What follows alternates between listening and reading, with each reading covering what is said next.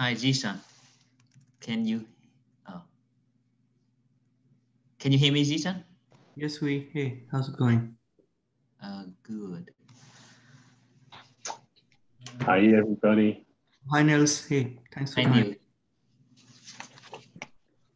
How are you? Doing great. Fantastic. It's very early here, like 5 a.m. are you are you based on the West Coast or Yes, we are. so it's 5 a.m. in the morning? Literally, Yeah. yeah. who who who chose the the slot that you Uh, the, the, the conference uh, organizer, they, they specify the time of the workshop and we, we, we cannot choose. okay I mean for me it's convenient 2 p.m. in the afternoon yeah.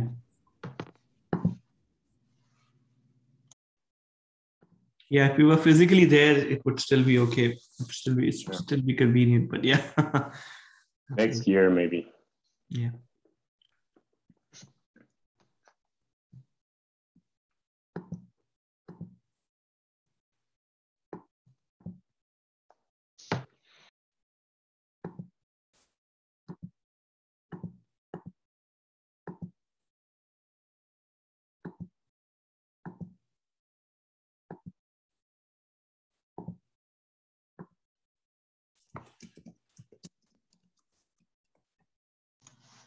I think uh, the idea that they try to pick it uh, as the Montreal time, uh, Montreal local time, because the conference is supposed to happen, was supposed to happen uh, in Montreal.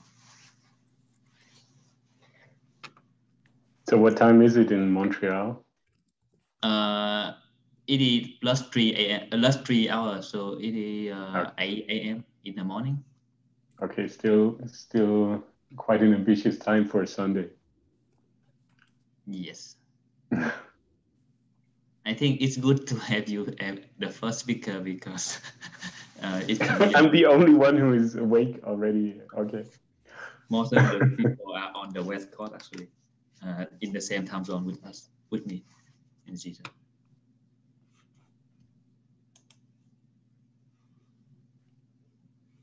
Absolutely. We can we can maybe wait for two more minutes and then I can spend five minutes just just making some introduction and then Nils can go.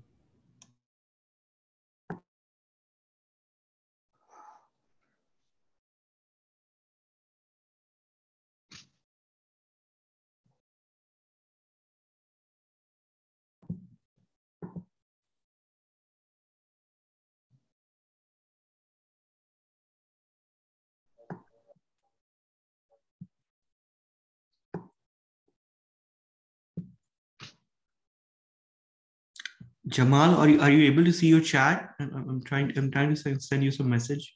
Jamal. Um, I can see. Yep, I can see the chat. Yep, Fantastic. sounds sounds sounds good with me. Okay.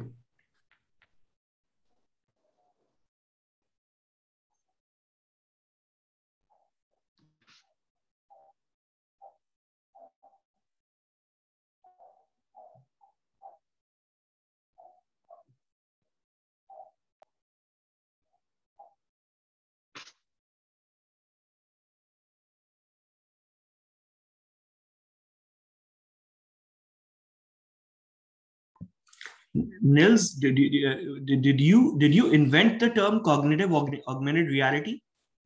I, I've never. I'm not sure if, if inventing is. I mean, I, I think it's. I'm. I might be the most um, frequent user. I, I cannot say whether I'm. I'm, I'm the inventor of it at least. Um, I mean, I've, I have authored a paper uh, with Yeah. this title. Um, it was the the claim of the startup, um, and basically it will also be covered in the talk, so you can. Yeah. Oh, yeah. Um, Appreciate it. Fantastic.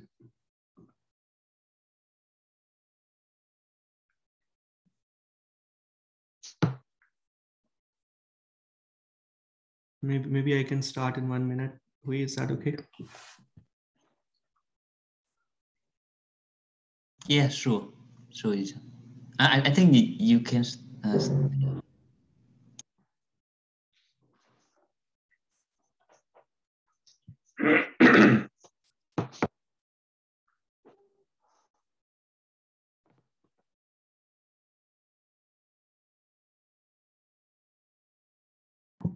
Okay, I, I, I can uh, I, I can just in, um, make a little bit of an introduction to what, what we are doing here today, uh, early Sunday morning. Um, so uh, I, am Zeeshan. Uh, I'm one of the organizers, uh, and uh, and I work for a startup called Retrocausal. Uh, Quoc Tran and Andrey Konin are my other two colleagues. We we also you know we all all work for a startup called Retrocausal, where we build computer vision systems to help factory workers become more efficient. Uh, my other uh, co-organizers are Jamal Afridi. He's a computer vision data scientist at 3M, the manufacturing giant, and uh, uh, and, and then Gaurav Sharma, who's a, a, a visiting assistant professor at IIT Kanpur. Uh, he used to be a research scientist at NEC Labs America up until recently, and uh, we saw that computer vision had you know computer vision uh, was one of or manufacturing was one of the first use cases to computer vision for for computer vision that we had heard of during our first computer vision lectures we know that that a company called cognex was one of the first companies was one of the first commercial applications of computer vision for cognex was founded like 40 years ago by one of the uh, you know early contributors to deep learning. So that that's that's kind of where it all started. My own undergraduate studies in munich were funded by a company called MVTec gmbh uh, that spun out of technical university of munich right again again focusing on visual defect detection on the factory floor but but more recently we saw a lot of applications uh, a lot of custom systems that were being built by iot uh, iot engineers uh, that could very well be built have been built by computer vision engineers. For instance, I visited a factory in Cleveland, Ohio, where I was seeing uh, these engineers had built custom designed for half a million dollars. And over 18 months, these systems were which could mistake proof an assembly process. So they were they were LED based sensors, and when you passed your hand through a bin, it would detect that you were about to pick up this part or that part. And if you were if the worker was about to pick a wrong part the system would go no no you're you're picking up the wrong part. And then you picked up that part and picked put it in front of a cognex camera. And the system would say okay yeah you assembled the right product right we, we thought that we could probably uh, uh, if, if we were using computer vision for those kinds of systems you could probably bring down the cost by 100x and probably also build these systems by 100x faster. We were also seeing applications in ergonomics and safety and so on and so forth, where you know people people outside of computer vision, instrumentation engineers, quality engineers, industrial engineers were building their own custom solutions.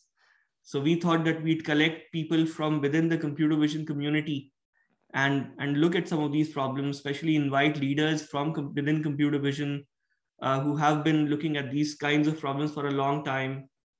Uh, you know, there, there's a lot of young blood coming into computer vision. Maybe we can direct some of that towards towards manufacturing problems where where a, a lot of contribution to the society can be made. I'll, I'll, I'll stop here. So, so we have uh, we've been fortunate to have some uh, you know very senior people in computer vision that look at manufacturing and and and uh, you know nearby fields like warehousing and so on. We've been very fortunate at that. Our first speaker is nils Petersen uh, he did his phd from the technical university of kaiserslautern was uh, headed a research group at, at the german institute for ai uh, called uh, cognitive augmented reality founded a startup called ioxp I, I, I presume he'll talk about that. Ran it for five years and, and then basically uh, got acquired, which which ended up getting acquired by Qualcomm. Uh, so sorry, ended up getting acquired by PTC, and and now he's a senior director there, uh, building augmented reality to help frontline workers on the factory floor and beyond be more effective. So I'll, I'll uh, you know transfer it to Nils to you know take take it away and and tell us something more about it. Thanks. Thank you very much for the introduction. So the uh, notorious question, can everybody see my screen? Yep. And hear me? Yes. Okay. Okay, so um, hi, thanks for having me. Thanks for the introduction. This uh, basically takes away my first uh, three slides. But um, so as you can take from my title, I will speak about how to use computer vision and AI to improve AR work instructions in some meaningful way. Um, still, uh, a quick introduction to myself. So I, I started at the uh, German Research Center for Artificial Intelligence um, on research um, towards AI usage or AI driven step-by-step assistance. Um, had um, a couple of disseminations, uh, a couple of prototypes, and then a couple of industrial pilots already in that phase. Um, and then uh, founded a startup to commercialize on, on um, this research. Um, this, at least in the German region, has um, created quite a lot of buzz actually. So we have had been in, in several national um, TV outlets, in print media, um, had a couple of innovation awards and research awards. And I don't know if you still recognize Angela Merkel, but we were selected one of four innovation exhibits for the Digital Summit, which is like the national um, summit where future um, IT and industry directions are presented to, to a general audience and, of course, to, to, to, to politics. Um, so last year, we've been acquired by PTC and um, are bringing what what we what we did at IOXP to the lineup of Vuforia, which is like the AR lineup of PTC, being one of the industry leaders in AR. In fact, um, just just a note: um, if you plan um, to to uh, to to give your career uh, a twist, uh, we are actually hiring in Vienna, Zurich, and Mannheim where the computer vision departments are um, located. All right, so what we what did we actually do? Let me show you this example of Bosch um, uh, in, in Mannheim. So basically there we use stationary tablets or head-worn devices um, to guide a worker through a series of more or less complex tasks, tinting the hands green if they were doing it all right, and tinting the hands red if the movement or something was implausible. And most importantly, check marking each and every step um, and, and, validating the correctness of each and every step in real time immediately after it was done.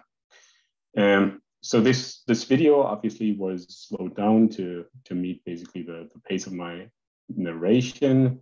Let me show you it in real time. Hand is green, everything is okay. And immediately after it's done, it's checkmarked. So basically the correctness of the step is being validated by the system. And the next instruction, which is basically this text label here, is presented to the user automatically. So this is not static work instructions anymore. The user did not, did not need to decide for themselves whether the step was completed correctly. Um, but the system checked that, understood that now the next work instruction is due, and offered that proactively to the user, basically catering to the information needs of the user, um, and um, building for a for a much more uh, fluid um, user experience when receiving work instructions, and um, with the goal basically of, of producing flawless outcome, like Zeeshan basically uh, motivated in his introduction. And one very important aspect of it is everything you've seen in this example, except for the, the, the textual descriptions, had been, um, had been purely um, learned from observing reference recordings of this workflow. And um, by its time, it was, um, to the best of my knowledge, the, the world's first capture-driven AR solution and um, basically could could deal with more or less arbitrary recordings with a single constraint that the workers needed to to basically focus their gaze on the on the area of inter, inter, uh, interaction during the conduction of each action.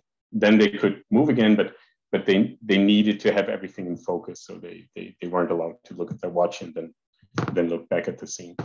Um, from that, basically we um, the, the system inferred the, the task boundaries of the comprising task by, by classifying on, on some self-similarity cues, or we simply ask the author where each step starts and stops.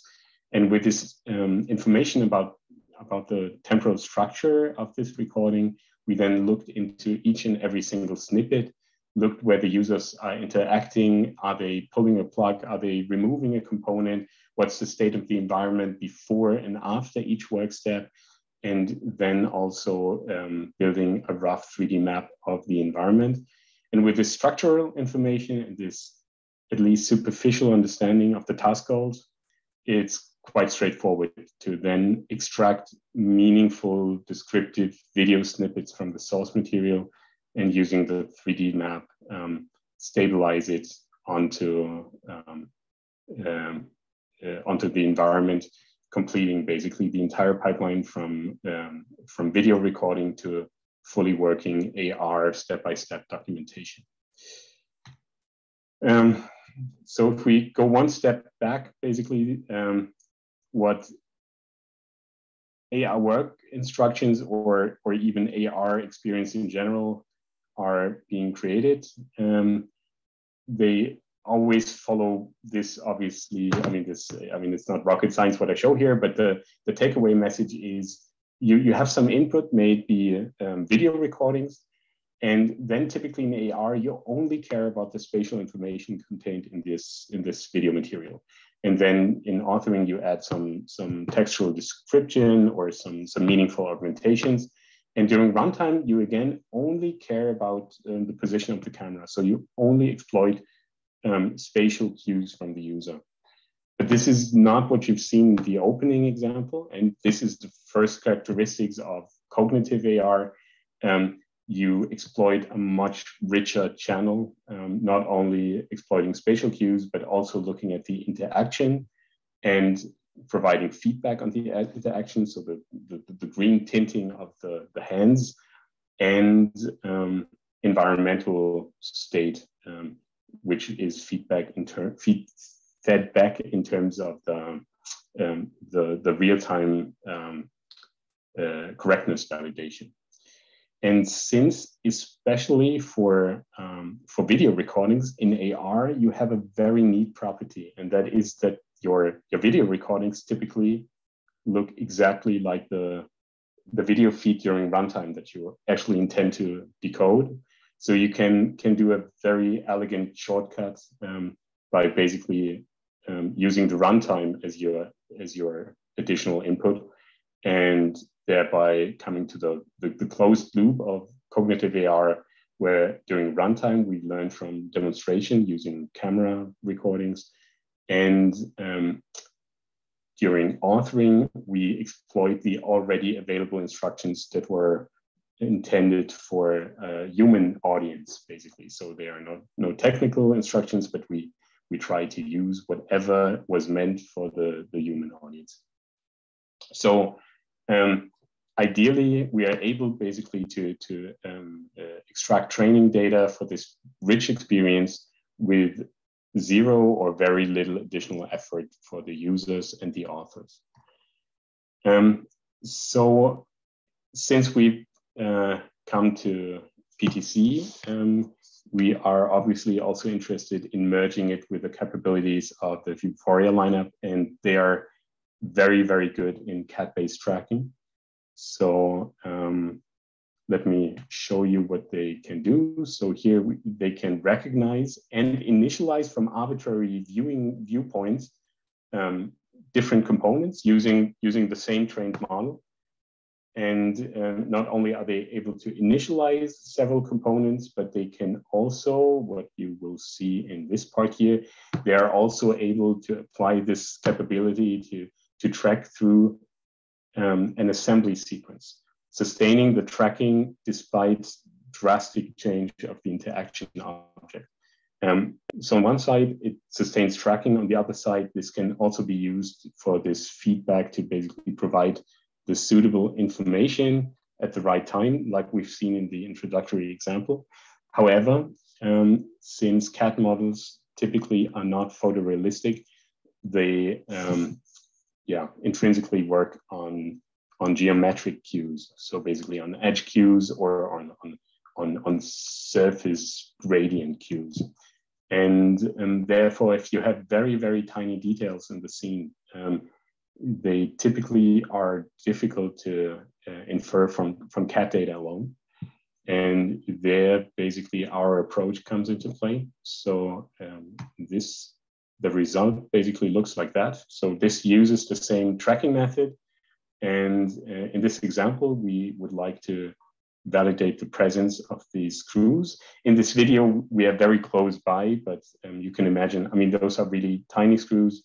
Um, if you if you move further away, basically the um, the difference between um, the socket and the screw head themselves do not differ so much in terms of the um, geometry around it, but basically it's this reflectance properties that basically um, um, facilitate um, a robust classification. So let me show you what it does. Basically here, the tracker is initialized and then the system says, yeah, the, the screw is present, everything is all right. Um, so what, what would happen if I intentionally remove the screw, causing an error? Basically, as soon as I enter the scene, the system, let me do it. So as soon as I enter the, screen, the scene, the, the system would notice, oh no, at the moment it's occluded, I cannot infer the state. As soon as I show the, the target area again, it says, no, this is not a correct state.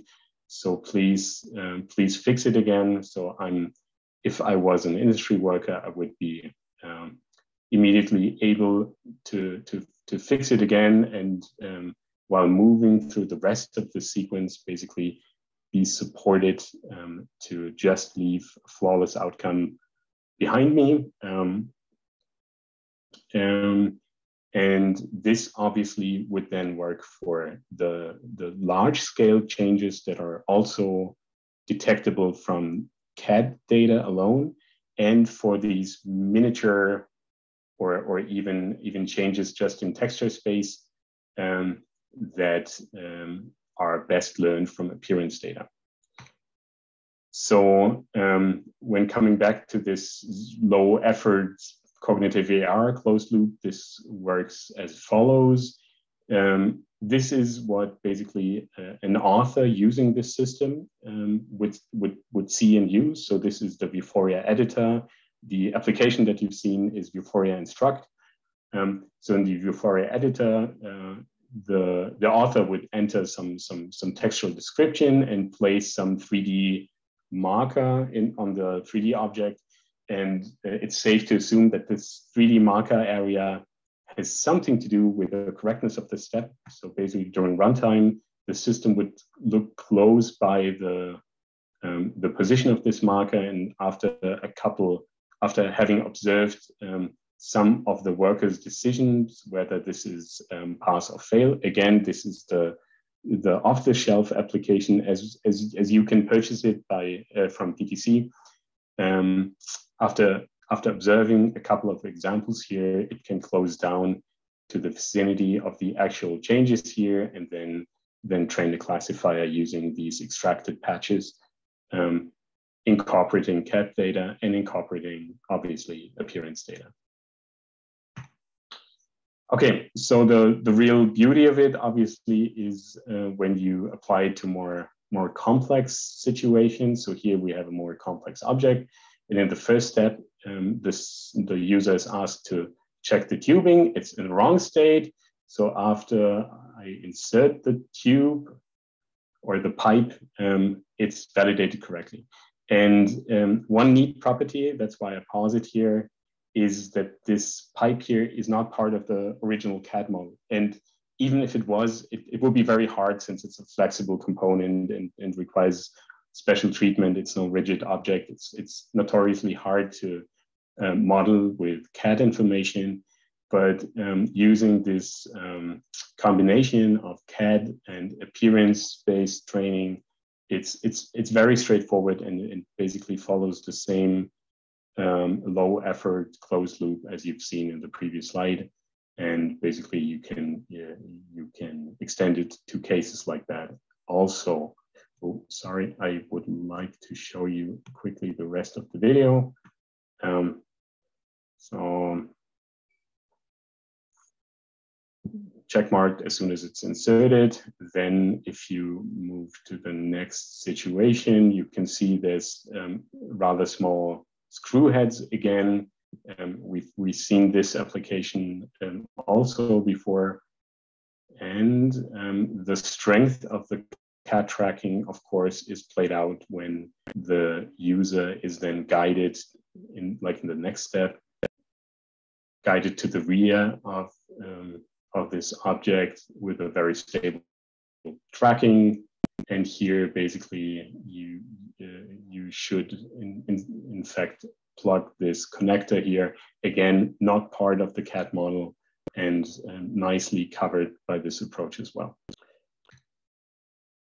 All those examples basically have in common that um, the, the correctness can be can be um, uh, discerned from a single example image. So no matter how small, and this is a realistic example, no matter how small the, the detail is, you can say from a single image, is the screw head present or is it not present? So um, this category is, is when, when you have a um, distinguishable target state after the step. Um, but not all steps follow this um, principle. Um, so basically here, when you add this um, circuit board here, it's not only important to have it placed on top of it, but it's also important to not have it tilted slightly. So basically, um, at the end of the step, the, the worker should press it down evenly, um, which basically doesn't change this, this camera view that we are seeing here at all anymore. Um, so we have to think about something different. And also when we look at the opening industry example, in this sequence alone or in this procedure alone, there have been four steps that are indistinguishable by its target state. And the, the rightmost one, where the worker needs to remove a spacer disk using a magnet, is even the most quality crucial because, as you can imagine, if, if the outcome is not obvious or, or even visible, then it's, it's very easy to forget this step also for the, for the worker. So there's a, a drastic use case for that. And um, um, the approach is, um, of course, to not look at the outcome, but look at the conduction instead. So instead of training a network um, on a single image, we trained them on the actual conduction of the recognition network. Um, we started this work in IOXP, but only now basically we we are we are so happy with the results that that we would like to to show them.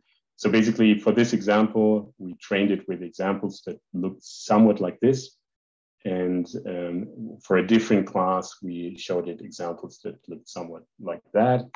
And um, here is one of the outcomes. What you what you see here is basically the the raw input footage. At the top left, you see basically the raw classifier output just in a human readable form. So so um, class zero is just just no action. So so basically put in a human readable form. And um, for the correct state, there's a there's a timer, so you have to to be in the correct state for three seconds. That's that's what you see here. So let's roll this. So basically, if I do erratic motion on top of this camera, then it can say, "Hey, what are you doing? This is this doesn't make sense." Um, but worse than doing um, nonsenseful work is doing it intentionally wrong. Um, basically transferring the moisture of my fingertips onto the delicate electronics. Um, and only if I do it correctly as intended, then after three seconds, um, it says yes, continue pushing, and then step completed. Well done. And another example, and this is particularly um, nice because um, this use case here, where you have to check on the cable connection, would not support traditional um, uh, object tracking because as you see when you when you want to check on it you you you you grab for it so you, you occlude most of it. It's not enough to look at it from all sides. It's also not enough to to just i don't know wave or or touch the the cable somehow. You really have to to bend and pull it to um, figure it out and then the system says yes well tested um, so this is um, for a lot of real world um, inspection cases, um, checking cable connectors or checking clips or checking spurs or um, cracks or something with, with by bare hand inspection of surfaces is a very real world use case. And this is a nice approach towards it. Um, so to conclude, basically just, just on the uh, industrial application of this, um, if we look at an uh, industry worker, um, what, what does he need to get enabled for his work? Um, obviously, you need some, some process documentation. You need some way to, to train this process to the, to the worker, and you need some way to, to check for the quality of the output. And in today's factories, this is done in the following way. Um, so typically you still, it's still state of the art to just have a monitor displaying a PDF file with uh, work instructions. And for the first couple of hours or even days, the, the new worker gets shadowed by uh, a more experienced worker um, to, to basically um, to, to, to guide him one by one. And we can improve on that since basically the system knows more about the worker. It can provide a really high, highly personalized training for new workers. And um, since um, the component can be detected, even without having this information from the order list, can instruct on complex and highly variant assembly uh, procedures. Um, typically, um, the uh, documentation is an editorial process in the back end. Um, you can improve that by augmenting the process with um, documentation input from observation. And one of the main advantages here is that your um, training material, therefore, is always uh, in sync by design because you need to perform it that way to document it. So no more outdated training material after after the first uh, I don't know process update, which actually occurs quite often in, in factory lines. And maybe the, the most important aspect, um, end of line inspection, um, those notorious quality gates are um, potentially not able to, to catch all errors um, after they are hidden by, by more layers or, or they are hard to fix. So we can improve that by in process inspection. It's very natural to use the camera and the understanding of the step-by-step process to really do atomic level testing after e each and every work step and therefore produce instant fault alerts um, to just rework and not produce crap. That is it thank you. And um, I'm happy if we have time for questions to hear them.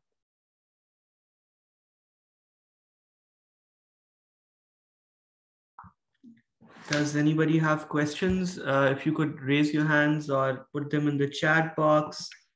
Uh, we could, uh, we still have actually plenty of time for Q&A. I, I, I, actually have some questions, Nils. One is, do you see this more as a as a training tool, as uh, you know, where, where you uh, tra help train new workers? Do you see this more as as something that that they use on a repetitive, you know, on a shift long basis? Maybe you showed some uh, assembly examples. Would somebody be using this all day long? Mm, I mean, if they, I mean, the, the user interfaces that I've shown are typically the ones that you would use to onboard new workers. Um, for all day long use cases, typically the workers um, are, if, if it's a, if it's a, um, a tacted workplace, typically the takt times are like nine seconds or 15 seconds. So there's no, no time to, to look at uh, AR work instructions or, or, or read text or anything, and you are more distracted by this monitor. So basically, the, the, the underlying system remains the same. However, the, the, um, the presentation side of it typically only shows the, the worker dashboard um, that is not in AR, but just shows order list or whatever they are used to at the moment. And then the system would only alert the worker if they deviate from the, um, from the process and then you would have the possibility to, to react in some meaningful way since i mean you in theory you could you could basically anticipate all typical errors in a procedure and and pre-author meaningful recovery strategies in ar to guide them back. Um, but but it would be a reactive display not a not a permanent one Got it. Appreciate that. So Khurram is is saying, uh, do you use activity detection models by detecting hand motion uh, positions, or is it more of using object detection, detecting hand poses? Yeah, it's it's it's direct. I mean, in the beginning, uh, in the IOXP era, um, since basically I started with um, 3D hand detection in the era before um, uh, RGBD cameras. So it was a basically when when it was a, was a challenge still, and therefore the work was heavily influenced by basically first um, detecting um, the hand posture and work with that. Now basically it's it's it's it's it's deep learning. So it's it's it's starting with the pixels and ending with the class label of correct or wrong. There's no no layered approach. First, uh, getting the hand position and then um, discerning it. Fantastic. And James uh, James Steer is asking, can it identify the number of turns of a screw or, or, or depth? I mean, typically, I mean, typically, I would I would argue not using cameras um, because typically those would not use screwdrivers to to uh, to pull the screw, but they would have basically even even even torque measuring electric screwdrivers. So so the typical approach is that you connect with the um, PLC and um, you uh, get at least the activation or even the, the maximum torque of the screwdriver. So you would align that with the information that the screwdriver was, was placed on top of the correct screw and um, the information whether it was activated very very hard to see from all perspectives the the system has its its greatest charm if um, the the camera viewpoint can be rather um, flexible so um, we are not intending to immediately compete with with industrial computer vision system like Cognex, like you you, you mentioned Cognex.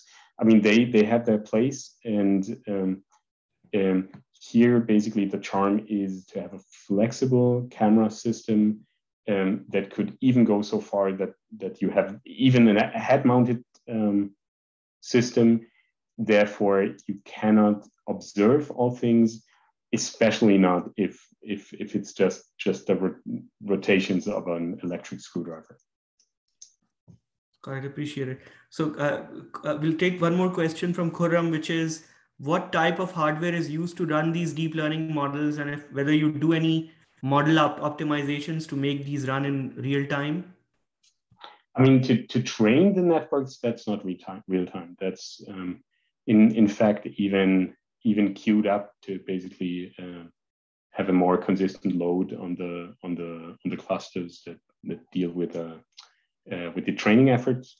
Um, the runtime then is real time and um, runs on commodity hardware. So, so this obviously runs on on, on um, the the examples that you've seen um, were running on a uh, on an Android tablet. Um, um, so runtime is um, is off is on device and real time. Got it. Uh, I, I, will take one last question. Actually, it's from Hamza. From for different work sites, do you train build the whole model system, or sorry, sorry, can you, can you create the data set and training for every different different scenario from scratch? Um,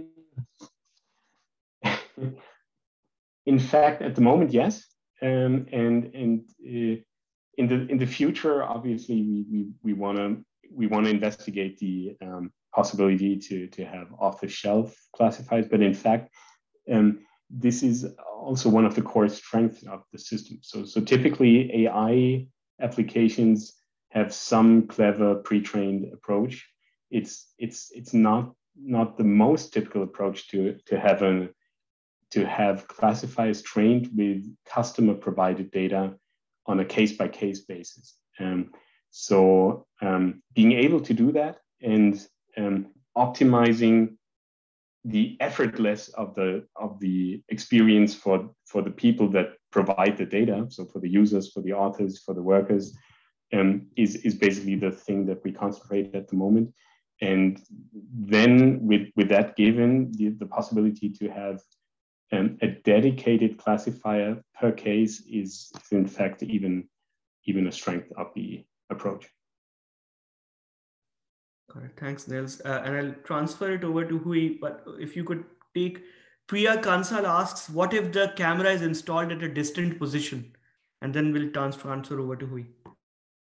If, if the camera is placed at a distant position, then um,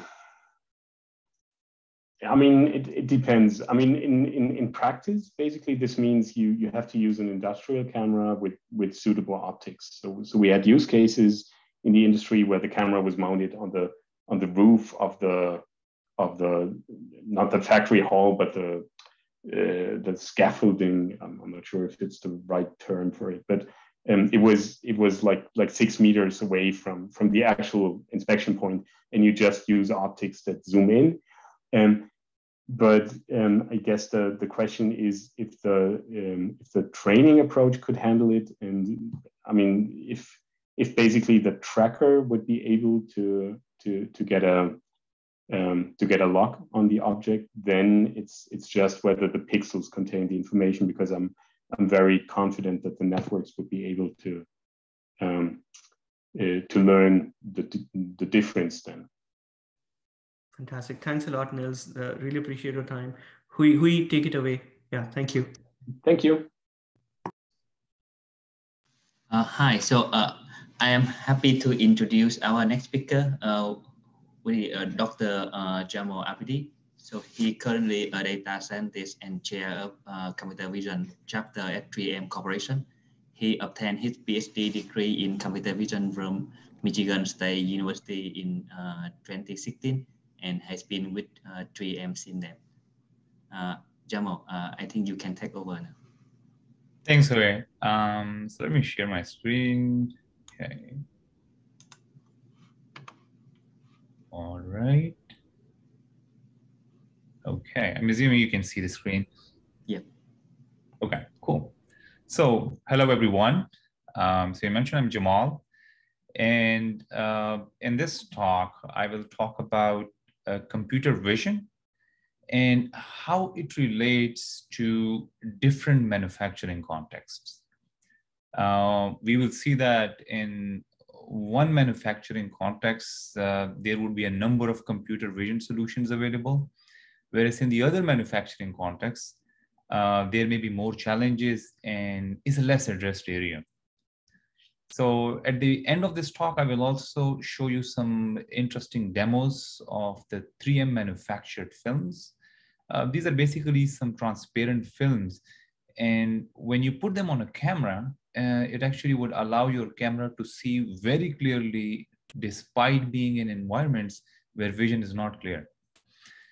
Um, but before we get into all of that discussion, uh, let's first develop some understanding and discussion around these different type of manufacturing processes and manufacturing context.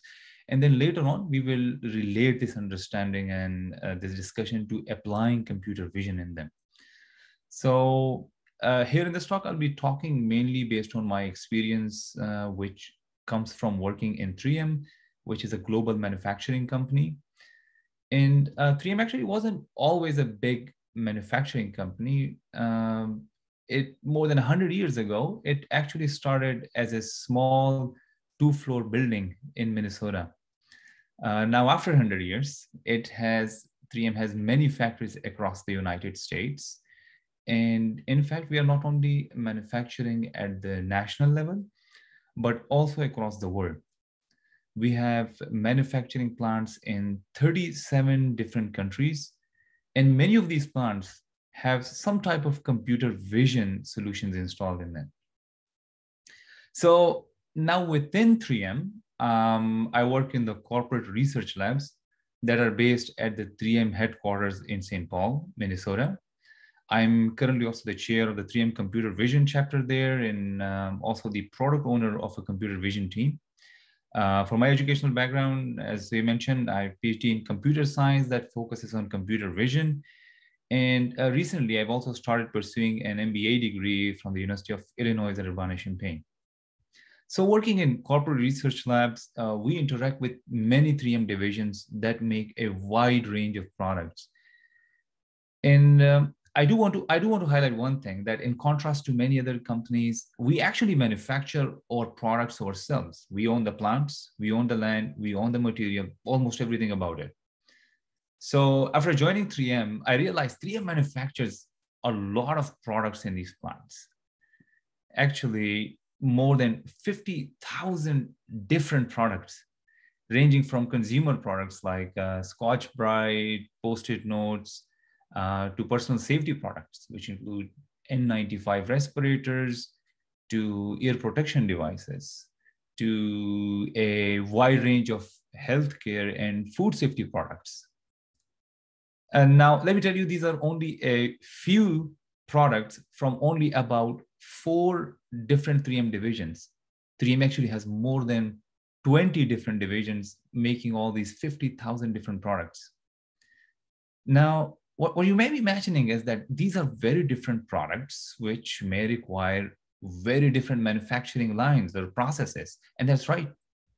So now when we think of computer vision inspecting these products or computer vision inspecting these processes, there could be a need of very different types of computer vision approaches to handle the correspondingly different manufacturing contexts.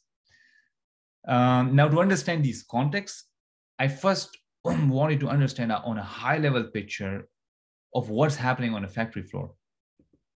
So during my time at 3M, I visited a number of different factories, especially those in the Midwest area in the US. And what I see is happening on the factory floor in the context of manufacturing was an interaction between three different entities, which are all interconnected. So products uh, that come out of a manufacturing process go through an inspection system, where many times a computer vision based system is installed. Now, based on the results of this computer vision system, two potential changes could happen. Number one, the parameters of the manufacturing process may automatically be changed, of course, to improve the quality of the product. And number two, human experts could be alerted. So human experts could be alerted to see to see the inspection results and uh, then take an effective action so that the process again the process so that the process could be improved to make a better quality products again. These computer vision inspection systems uh, represents one of the key elements I would say where computer vision really has a very strong play. Now, let's discuss these processes first, and then based on that understanding, we will better relate computer vision inspection systems in more detail in the relationship to the context. So the scope of this talk, we will focus on computer vision for two different type of manufacturing processes. That is discrete manufacturing and continuous manufacturing. So what's the difference between the two? Uh, when manufacturing process, let's say, results in products like uh, that could be individually counted, right, as separate units, then we're talking about discrete manufacturing. I would say examples would include uh, processes that produce light bulbs, cars, laptops. Um, so each laptop or car is a separate individual unit, and therefore we can count the number of laptops or cars being produced. Now, in contrast, the product coming out of a continuous manufacturing process is very finely divisible and maybe measured in volume and not in counts. So as long as you keep providing ingredients to the process, you can keep producing a volume of paper, volume of film, polymer, and that's continuous manufacturing. Now, one interesting thing to note is that uh, most of the times when, when I've heard people talking about uh, computer vision in manufacturing, it is mostly in the space of discrete manufacturing, where we already have many solutions and it is a populated area. So I've noticed that the computer vision challenges in this continuous manufacturing space are much less addressed, and that's a very challenging area. A large manufacturing company like 3M has to focus heavily on this continuous manufacturing space because it has to enable the production of materials which actually is required for manufacturing a number of different products across the world. So, however, as I mentioned, there are much less commercially available solutions in the continuous context. Now, now let's bring all this discussion from these few slides together into a single image. And we see this. So for me, what I have here is the overall picture that shows products coming out of both discrete and continuous manufacturing processes and then going to an in, inspection process where computer vision system may be there. Now here is where it starts becoming uh, interesting. In the context of uh, automated computer vision based systems, discrete manufacturing, static image analysis, or static scan analysis is usually a dominant computer vision solution the camera can take a picture of a discrete product and the algorithm can tell you if there is a defect in it. Uh, now, you can use this information in many ways. For example, how many defected products were there in each batch or temporally, how your defected products increased over time. So again, as I mentioned, this is a context that's heavily populated with commercial solutions. And uh, in this talk, I will also show you some examples. So here is one example in the context of how we use this analysis in discrete manufacturing. So every time a product is produced in discrete manufacturing context, you may want to print something on it before it is available to the customer, right? Consider the example of license plates. Once you have a license plate, you may want to print a pattern on each plate based on the requirement. Now, the demand for uh, the quality and consistency of printing is usually very high. So we need a vision-based inspection system to inspect each print on the plate. So that's one example. Of course, we want such systems to be accurate in finding, classifying defects, um, but we also want such systems to be very uh, fast as well. Second, I will also mention that such systems may have to handle a very large variety of defects. I'm showing some of these here. Um, on the left, you can see the missing ink problem, for example. Uh, then in the next image, we see small dents as defects that need to be picked by the algorithm. There are also streaks in some cases, as you can see in this middle image. And uh, sometimes we may detect contaminations as well. The rightmost image shows a bridging issue where the alphabets T and H are actually supposed to be separate. Um, now, now there are a wide range of um, computer vision solutions in, in this space that could be leveraged to address the defect detection in this context. Um, for example, there are solutions in the industry that present a template matching based approach towards this problem.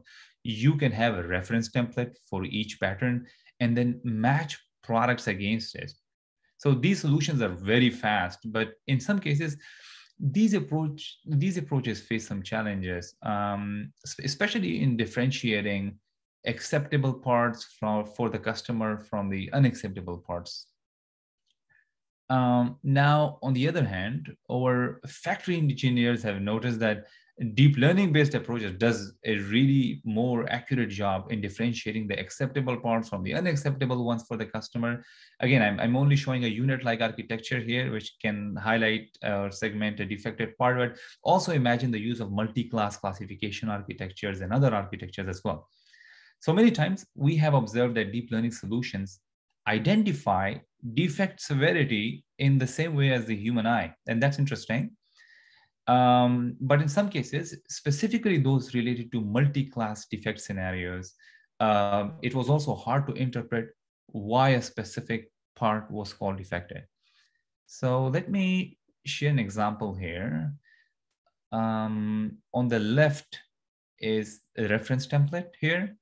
Uh, in the middle is what comes out of the template matching, of course, after passing it through some post-processing steps, which are conducted in order to suppress the noise.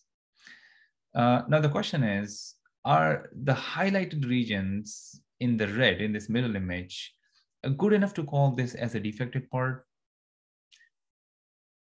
Maybe, maybe not. So uh, it will depend on the customer. Okay, now the rightmost image represents the result from why a deep learning based approach called this as a defected product. Now it's interesting that it correctly highlights a small but an important area that could actually be a reason for this part uh, for for this for the rejection of this part So in template matching, we somehow lost this very small region while suppressing the noise. Uh, here is another example for inspection in discrete manufacturing. On the left is a medical product with multiple microneedles in it. To inspect such products, we may be throwing light at this product from a specific direction. And what that does is it creates shadows. And then we do shape analysis on these shadows using traditional computer vision techniques to inspect the quality of these microneedles. Okay. Um, so, so far what we have discussed was discrete manufacturing where static image-based solutions play a dominant role. Um, we There is also spatial temporal analysis in discrete manufacturing, but that, that relates more to the process analysis like assembly, not specifically to the products. So, and but we also discussed that this is comparatively a more populated area. Now, when it comes to continuous manufacturing, or most dominant needs may have to be addressed using spatial temporal analysis. And again, this is an area that provides a number of challenges, is much less addressed for manufacturing needs, but is one of the most heavily used area of manufacturing. Uh, so significantly impacting this continuous manufacturing area could be a big deal. Um, again, as a reminder, when we talk about continuous manufacturing, it is different than discrete because here the product is finely divisible and may be measured by volume rather than by counts. So something to keep in mind. Some examples would include paper production, film production, even polymers. Um, here is a video from one of our uh, 3M plants that shows a transparent film being continuously manufactured and rolled. These films have special characteristics, uh, which are then used in the making of many other products across the world.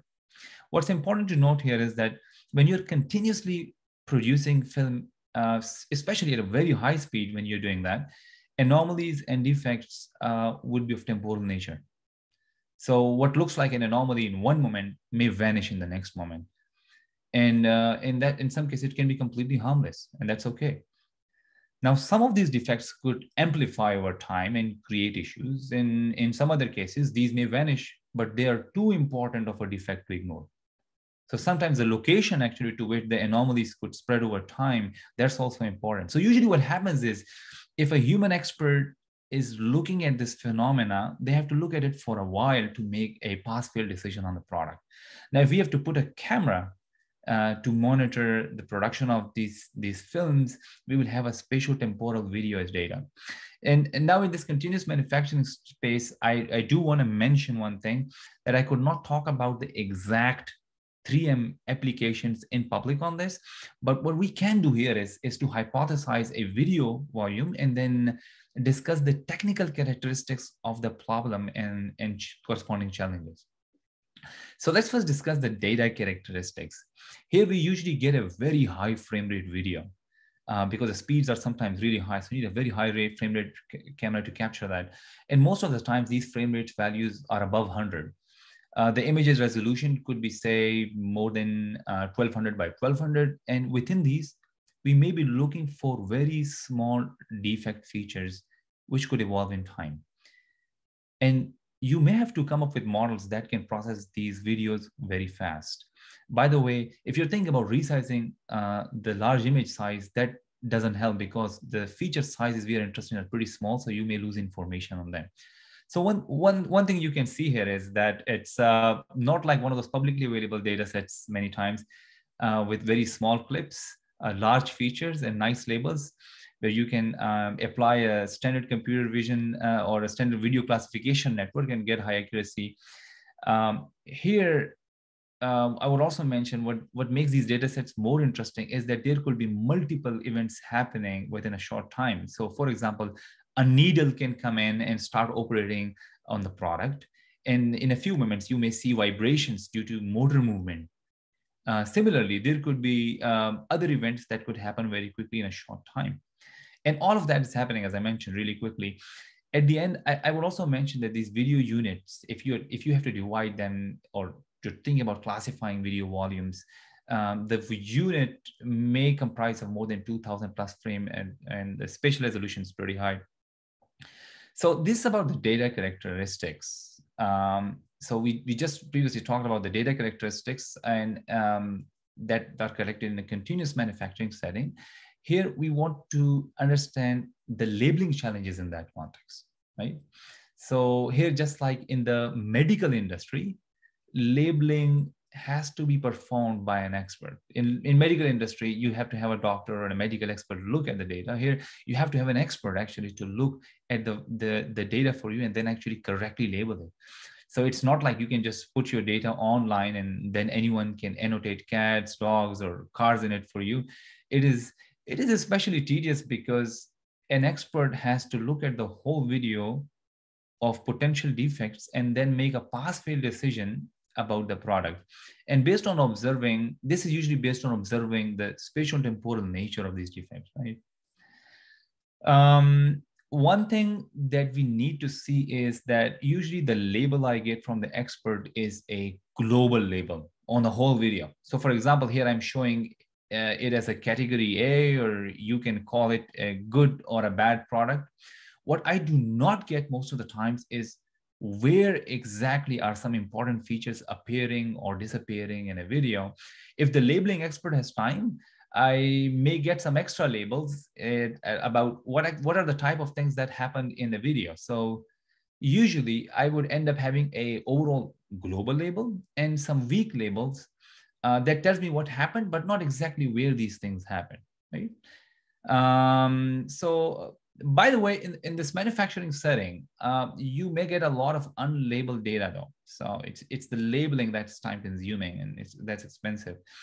Uh, but because of an expert time is required, as I mentioned, the label data that you'll get probably would be limited. Uh, now, so far we discussed the data characteristics of the videos that are collected in a continuous manufacturing setting and also discussed the nature of lab labeling that is performed on these.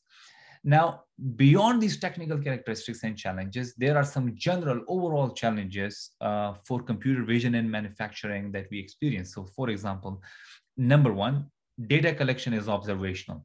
That means you cannot just go and stop the line or start the line because you want to create a very nice, balanced, good data set.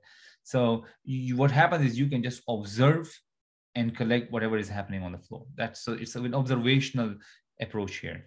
Second, label data set may be limited, but variety and diversity of potential recipes is very high. That means with limited label data, your approach may face some challenges in generalizing to other recipes, right?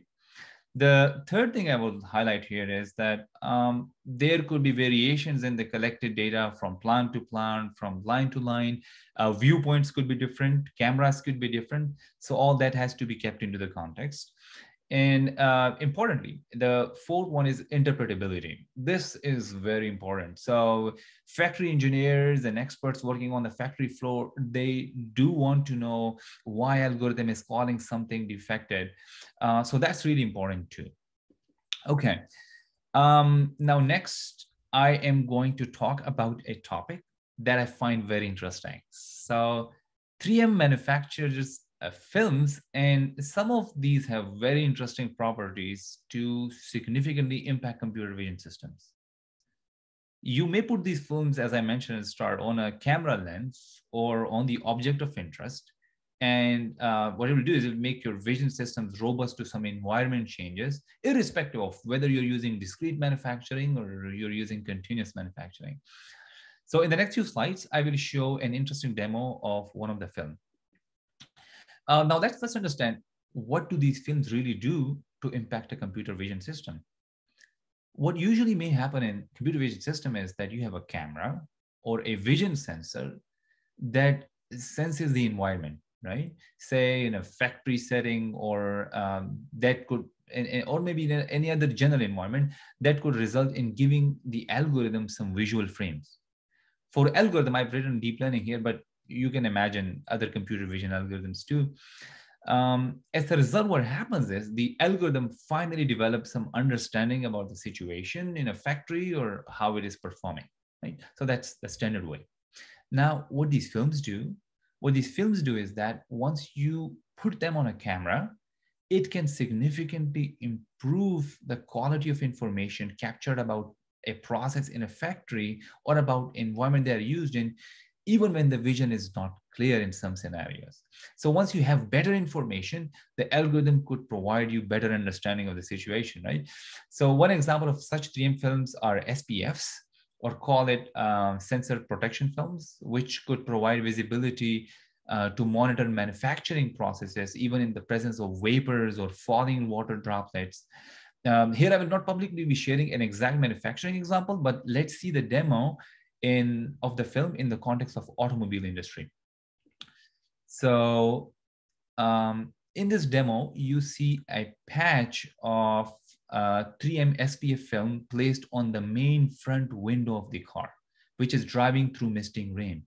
You can see that because of the high water repellency of this film, the view is much clear. Let me play that again, actually. The view is much clearer in the patch as compared to the rest of the window, right? So in the middle of this video, you see that patch and uh, you can compare the visibility through that versus the rest of the window. So this can be placed on other parts of the car as well. Uh, or you can put in uh, for other applications as well. Um, now, for all, uh, so uh, what we'll do now is also see uh, how it looks like when you actually put it on a camera lens, right? So now see the difference when you put it on top of the camera. On the left is the camera with the SPF film on it. Um, so, and in this case, it is showing uh, the back view from a car. Again, Im imagine the use of this film in a factory setting uh, when a better visibility is needed to monitor a process, despite when uh, when the times when you have vapors or waters uh, and, and you want to see the process through that. Right? So um, as I mentioned at the start, 3M has more than uh, 20 different divisions that leverages our factories within US and outside the US across the globe uh, to manufacture these large variety of products. And many of these factories have some type of computer vision systems installed in there. Um, these 3M divisions come under four main business groups. And uh, my team within Corporate Research Lab get the opportunities to interact with all of them. So if, if you are interested in having a more longer conversation with me, feel free to connect on the LinkedIn. Um, in summary, based on my learnings, I do believe that understanding the type of manufacturing and the context, it's a key factor while designing computer vision system for product inspection in factories. And uh, leveraging the SPF films I talked about could be very effective in vision-based monitoring of a product or processes in factories. Uh, I can take any questions at this point if you have.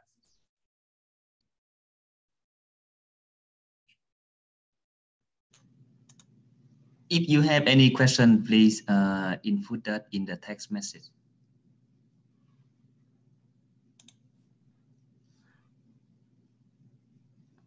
Okay, uh, I think because we are a bit out of time, uh, anyway, so um, oh, actually, uh, there's one question uh, from Kuram. How do you handle plan-to-plan variation? Right, that's that's a good question. Um, there are a lot of techniques um, uh, in the context of domain adaptation, right? Uh, transfer learning. We we leverage some we leverage some of those techniques. Uh, I couldn't go into the more specifics of that, but along those lines, there are a number of different techniques which which we leverage. Okay, so uh, thank Jamal. Um, let us move to the next speaker. Uh, Zeeshan, uh, can you introduce the next speaker? Yeah, uh, our, our, next speaker is Nandini Ananthula. Uh, Nandini, if you could share your screen. So Nandini is a, a uh, so Nandini is an expert in industrial engineering and basically alongside our other computer vision experts, we wanted to have Nandini talk about the pain points in manufacturing and industrial engineering because un until we know the problems that that that manufacturing people face it's hard to it's hard to come up with solutions for them Nandini did her graduate studies in industrial engineering at, at Texas Technology University, and she has a ton of experience uh, as an as a professional industrial engineer. Right now, she's a an operations program manager for new product introduction at Apple. Before that, she was a senior industrial engineer at Whirlpool, an industrial engineer at General, General Motors, an industrial engineer at Neaton Auto Products, and and you know even before that, she she, she has done stints at other companies. So she she brings in a ton of ex- actual manufacturing, actual industrial engineering ex- experience, uh, you know, in th- those spaces. And uh, I'm looking forward to her telling us, you know, what what these pain points in manufacturing are, so and how we can, as a computer vision community, can help so- solve some of these pain points. Thanks, Nandini. Please, please take it on. Yeah. Thank you. Uh, can you guys hear me? Yep. Yep thank you. Uh, thanks for having me. Uh, and I really appreciate each one of you who are taking time to join this uh, workshop. Uh, I think uh, pretty much Zeeshan covered introduction about me. as he mentioned, I have always been an industrial engineer professional who spend most of their time on the factory shop floor, working with the operators and finding and fixing the issues. so that's most of our day to day. Uh, so I do have a quite a bit of factory experience. So usually once the product design is completed, when we actually want to uh, manufacture the product and make the product in the factory, that's when industrial engineers comes into the play. So we are responsible for uh, setting up uh, all the processes, equipment, we decide where the tool should go, and uh, we determine what should be the, the work instructions for each of the operator uh, so that's a little bit background about uh, what I do.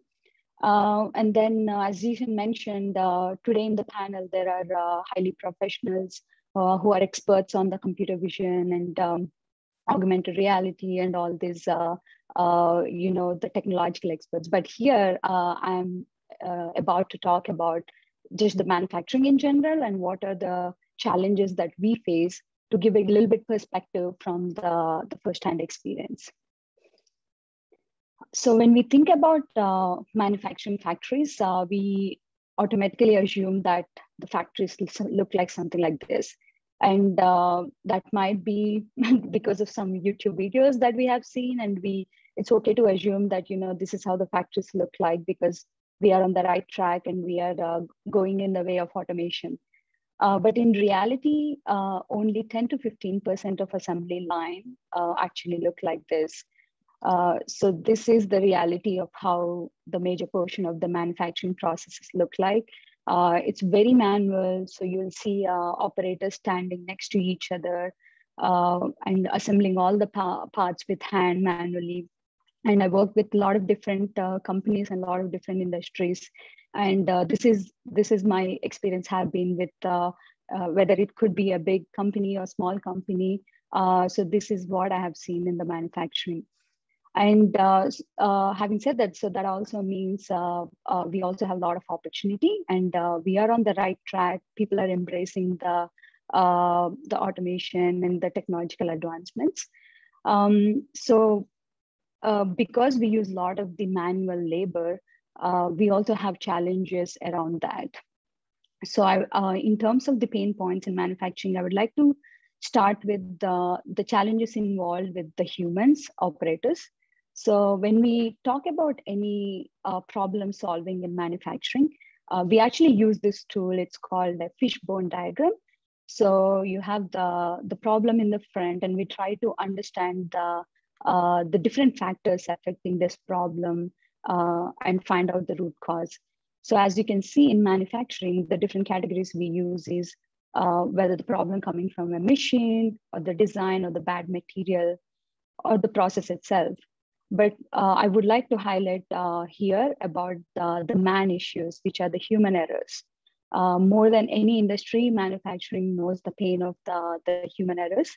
Um, according to one of the studies, 23% of all the downtime, unplanned downtime in manufacturing is because of the human errors.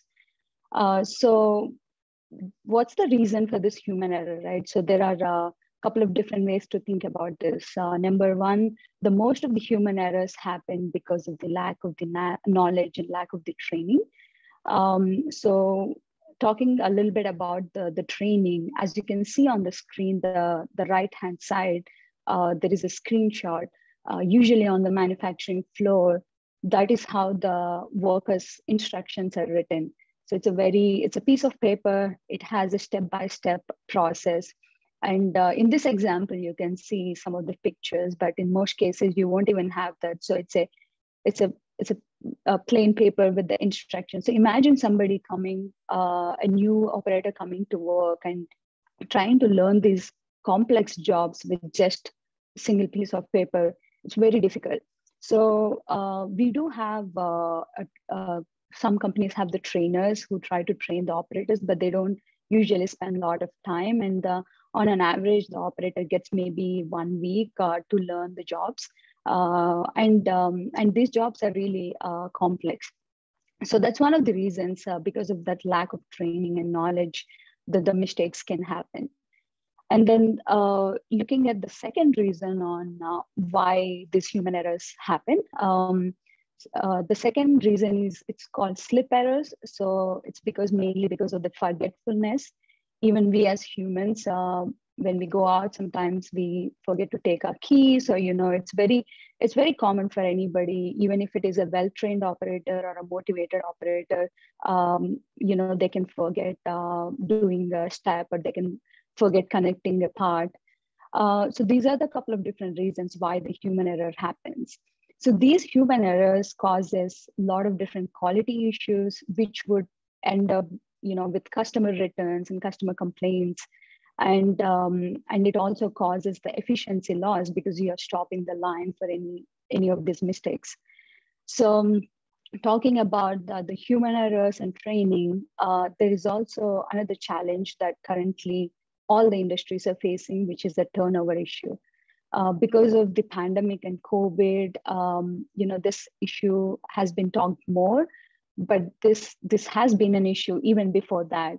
Uh, there are not a lot of people who are willing to do, do these jobs, and um, and then sometimes it depends on where the factory is. If there is a there's a Walmart paying more than you know working in a manufacturing conditions, then obviously like people would prefer that. So it's very hard to uh, hard to uh, hire new workforce. And then even after you hire, it's very difficult to retain that workforce. So because of all these challenges, um, I would like to quickly show uh, a best practice that I came across uh, using technology to resolve this human error. Uh, so one of the best practice I came across, uh, it's a company called Light Guide Systems. Uh, so it's a visual guidance platform. So on the left side, uh, you can see th there are instructions displayed for the operator to look at and perform each of the tasks. Uh, so these um, systems are very helpful in terms of um, training, especially when there is a complex task. And, and we don't really need a separate trainer for this. So if we if a company has the system set up, so the operator can actually try to learn the jobs on their own. so it's very helpful in that aspect. And uh, these systems not only help with training, I have seen the systems also help with the inspection portion of it. So on the right hand side of the picture, you can see uh, there is a there is a white highlighted part. It's actually the light is indicating the operator that hey, you missed a connection. So it actually forces the the, the human labor to uh, perform that task before it goes to the next step. So these kind of uh, uh you know, augmented reality applications uh, will be very helpful in order to overcome the challenges of the uh, the human errors and the training and the uh, and also the turnover. When we actually uh, try to hire a new labor and train them, there is a cost involved, and there is a a lot of struggle involved that goes through it. Uh, so by using uh, by using these systems, um, not only we can uh, help with the training, but you also get an immediate feedback. So it's always important to fix the issues right when it happens. Uh, as uh, as we go further into the process, it becomes very difficult to fix that issue and it becomes more expensive. And then uh, I would also like to talk about another pain point in manufacturing, which is ergonomics. Um, so usually people talk about the safety accidents, uh, but ergonomics is also a big concern because uh, a lot of this manual labor does uh, repetitive uh, task. Uh, so when they perform uh, the repetitive activities, it could lead to a lot of the injuries on the long run. So we as industrial engineers, we spend a lot of time analyzing, um, you know, how we can reduce uh, the poor ergonomic conditions. So on the right side here uh, in the picture, you can see um, there are different categories of uh, the bin, like it could be a bending position uh, or uh, uh, the, the angle of the waist. There, so there are different categories that we analyze in the operator task. And then for every category, uh, you can see there's a category of how much uh, they're walking and how much weight they're carrying. So for each of these categories, we divide the uh, levels into level one, level two, level three. So if an operator's uh, position is at level three, then it's a best ideal condition. But if the operator is at level one, so they have a very poor uh, working condition, which could lead to uh, some injuries in the long run. So when we want to do this analysis, the right now the process we use is we we capture the videos of the operators doing this work, and then we uh, watch these videos in a slow motion, and then we try to uh, perform the the category, uh, each category, and decide the level. So imagine uh, engineers spending a lot of their time uh, on the shop floor, taking videos and then watching them, uh, it's it's really a, a, struggle, and also it's not the better better use of the engineer's time. Uh, so uh, one of the uh, best practice I have came across is using the the computer vision. we can actually automate this process and then uh, try to identify the, the poor working conditions and the poor ergonomics uh, using, using the technology. So usually uh, when we talk about all these poor ergonomic conditions, in order, to, we are also responsible for fixing them. Once we see any bad condition, we're also responsible for finding a solution. It's even more challenging to come up with a solution because uh, uh, mostly all the construction will happen by that time. So if you have to make any changes to the, the setup, uh, it involves uh, you know, uh, constructing and demolishing some of the uh, workspaces, which would be very expensive. And not only that, uh, there would be hundreds of other stations attached to one station. So uh, it would affect entire assembly line. So um, the, so this is this is not practical and then most of the times we would be struggling to find the difficulties and we come up with some band-aid solutions uh, which won't uh, uh, help in the long run. So how we can actually uh, fix these issues is uh, identifying them way before in the design uh, design step. So before even we build a new assembly line, we, we should think about how the working conditions should be. So as you can see on the left side uh, pictures, uh, companies like Ford, uh, Chrysler, and Kia, uh, they have been using the, the virtual reality and augmented reality simulations. So what they uh, what these simulations do is um, we can actually uh, we can see the the actual work how the actual working condition look like, and we can simulate the, all the steps to understand uh, how the ergonomic uh, conditions are for the operator. So for an industrial engineers like me, this tool is very helpful because we can identify these challenges very early on in the design phase and then fix them rather than waiting until a few years when, when all the construction is done. And uh, looking at the next pain points in manufacturing is, I think if you have been listening today, uh, some of the speakers already touched upon the data collection. Uh, so as an industrial engineer, I spend most of the day collecting uh, time studies and downtime data. Uh, so what is time study? Uh, so time study is um, the amount of time it takes for a certain process. So if a worker is performing 10 different steps, so we break down each of them into a min um, into um, a minute step and try to understand how many seconds that process might take. So this process in the olden days is very manual. People used to do it with uh, stopwatches, and a lot of companies still uh, do that process. Uh, so in my experience, uh, as you can see on the left side of the screen, I use this uh, platform where uh, we would upload the video and then for each of the step, you would stop the video so it captures the time. Uh, but this process also um, semi-manual because you would still need somebody to go to the shop floor and take the video and upload and then watch the video and play it slowly.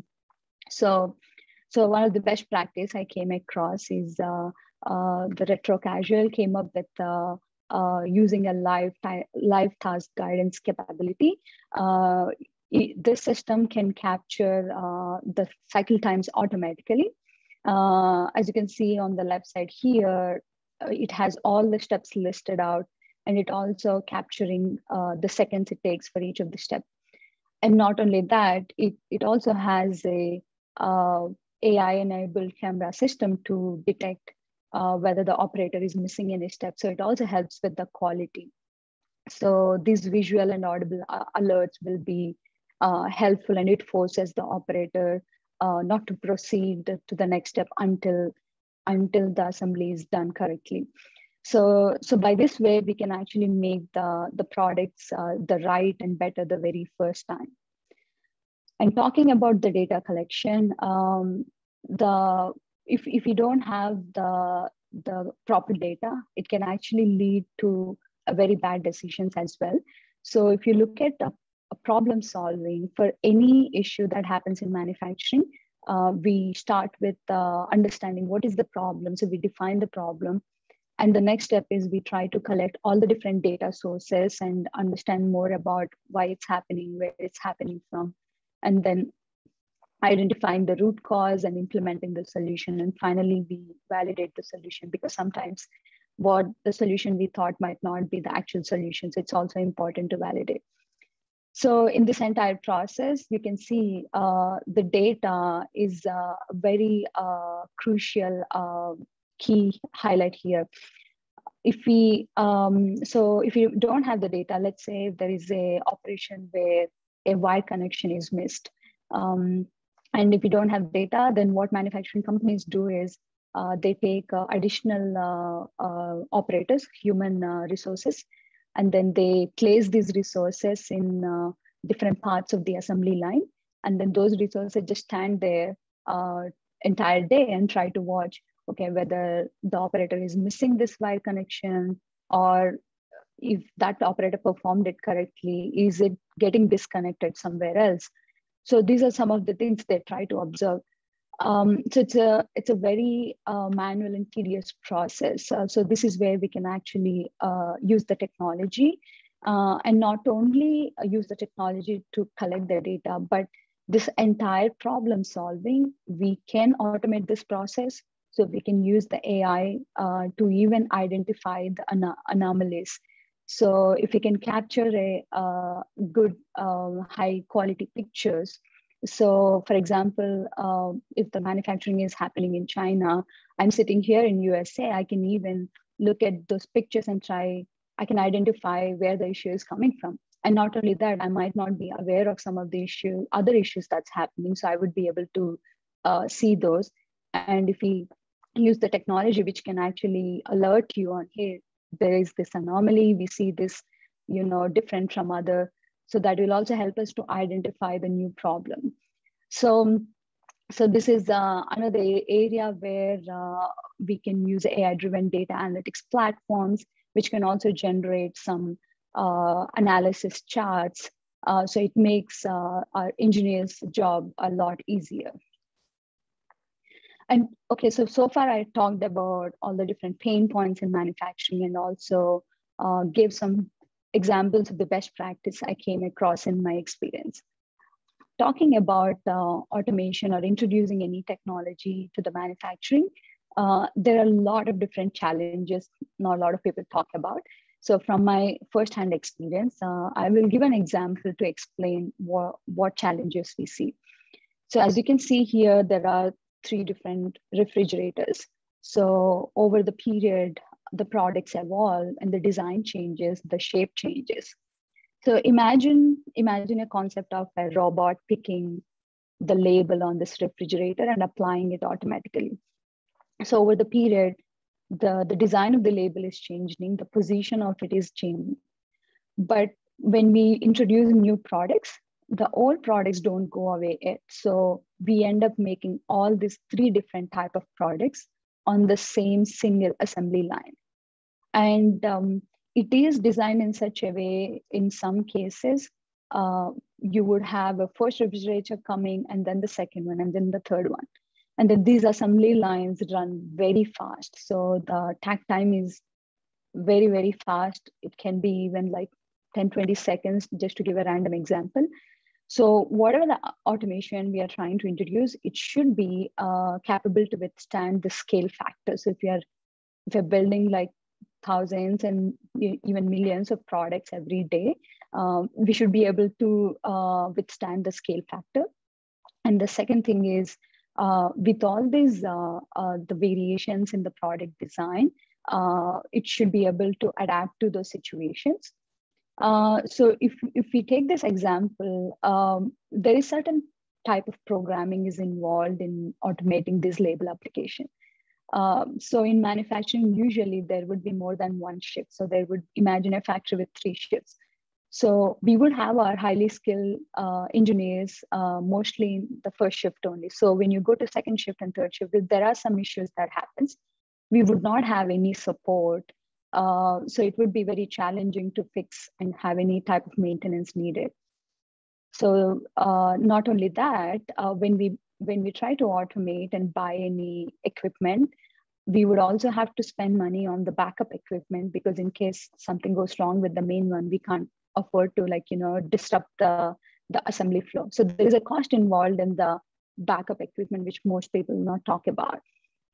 And uh, in case if something happens and the equipment breaks, uh, there is also a downtime involved in terms of replacing uh, to backup equipment, and there is a change over time. And uh, finally, there is also aspect of uh, user interface. If, if we are introducing any technology to manufacturing, and if it is not easily accessible by even people on the shop floor, like technicians should be able to easily uh, access and understand the interface if that interface is not uh, user friendly, uh, chances are high that we would end up not using it. Uh, and finally, a cost is a very, uh, cost plays a very key uh, role. Um, whatever the technology we try to introduce to the manufacturing, we always, always look at what is the return on investment. So um, if, if there are low cost automation solutions, those are the key for uh, expanding to factories. Uh, if not, we, we should always be able to um, able to tell how this technology is going to help, uh, whether it's going to help with our downtime or productivity or quality. We should be able to like uh, put put that into a different category and then tell how much it will save the company. So these are some of the challenges that a lot of people talk, don't talk about, and these are the reasons why uh, even though the factories might want to uh, do the automation, they, they won't succeed in uh, all the cases. So finally, uh, I would like to say, um, uh, as everyone knows, the product complexity is increasing every day. Uh, if, as you can see, right now there are people doing movies with the phone. So there is so much advancement in the products. And then at the same time, the user expectations are also increasing. Uh, if, if I'm trying to buy something on Amazon, I look at the reviews and I try to go with the highest reviews. If there is one or two bad reviews, that would impact greatly. And then the market's also very highly com competitive. So it's important for uh, uh, any product to uh, release on time. So basically, the faster they can introduce the product, the better it is at the same time quality is also very important. So uh, as i said people expectations have increased uh, so there is a high standard expectation of quality. So the the better quality and the faster we can introduce the products to the market the better it is for the business. So in order to uh, withstand with all these changes i would say the catalyst here is the technology uh, we can, uh, there is a lot of uh, room for opportunities in the different factories. From my experience, as uh, I'm uh, saying that there's a uh, lot of opportunity and then this technology can act as a catalyst and I just only talked about a few pain points, but there are hundreds of them. So we can find solutions with using technology and resolve them and make, make all the factories uh, better factories and smart factories. Uh, so by this, that concludes my talk and I would take any questions that anyone have. I, I would love to kick off the questions, Nandini. Thanks a lot for the talk. We really appreciate it. Uh, you talked about the pain points in worker training, quality inspection, ergonomics, time studies. Can, can you speak about how these pain points play into designing a new process? Right. So, you, so er, ergonomics, yes, it's, if it's already in place, I can understand, I can see how you mo monitor it and so on. But if it, if it doesn't even, exist, you know, how some of these problems apply to when you're designing a new process? Yes, so uh, I think I talked about uh, the ergonomics tool that we use.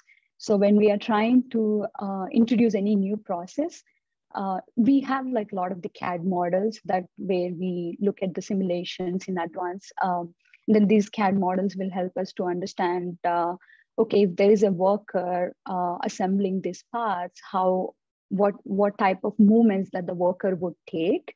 So before even the actual reality happens, we do these simulations uh, to understand in the design phase itself. And then that way we can change uh, either the setup or sometimes we even go back to the product design and say, uh, we, we talk, we work very closely with the product design team and then we tell them, hey, this design is, is might be good, but then it's not good for factory. So when, when we are trying to do this in the shop floor, uh, it's it's it's not convenient you know we need to change the design. So there are instances where we would end up changing the design as well. So the early we do this analysis the better it is for the companies that, that, that makes a lot of sense really appreciate it okay folks any other questions for nandini uh, more general in the pain points for manufacturing if there are none, then th I'll th thank thank the speaker. Thank you, Nandini, and and you know I'll, I'll hand it over to Huy. Uh, yeah, thank you so much. Thank you.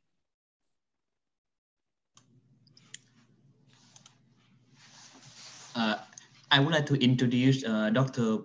Behnoosh Parsa uh, as our next speaker. She currently a senior applied scientist uh, at the Global Health Technology Group uh, at Amazon. She was a research intern at uh, Facebook AI Research Lab and Honda Research Institute uh, and obtained her PhD degree in mechanical engineering uh, from University of Washington in uh, 20 and uh, last year. Uh, hi, Benu. I think you can start your talk now. Hi, thank you so much. Let me share my screen.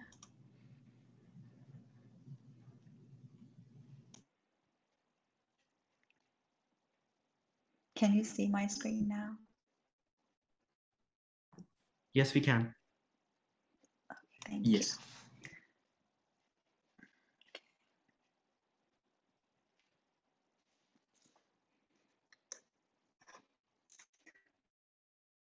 Morning, everyone, and welcome to my presentation. Um, thanks, Louis, for the introduction. And today I'm going to tell you about uh, computer vision applications in ergonomics. So Nandini, she made my work very easy now to transition to uh, this uh, presentation. Um, and I wanted to take this uh, initial moment of the presentation to acknowledge uh, so far I had the opportunity to ergonomics uh, community and uh, introduce to them the power of uh, computer vision and machine learning and how that uh, can impact uh, their field. And today I'm very glad that I have the chance same uh, in the computer vision community and tell you more about ergonomics and the potential uh, opportunities for us as computer vision scientists to uh, make impact. So we'll be uh, talking about uh, ergonomics and introducing that to you.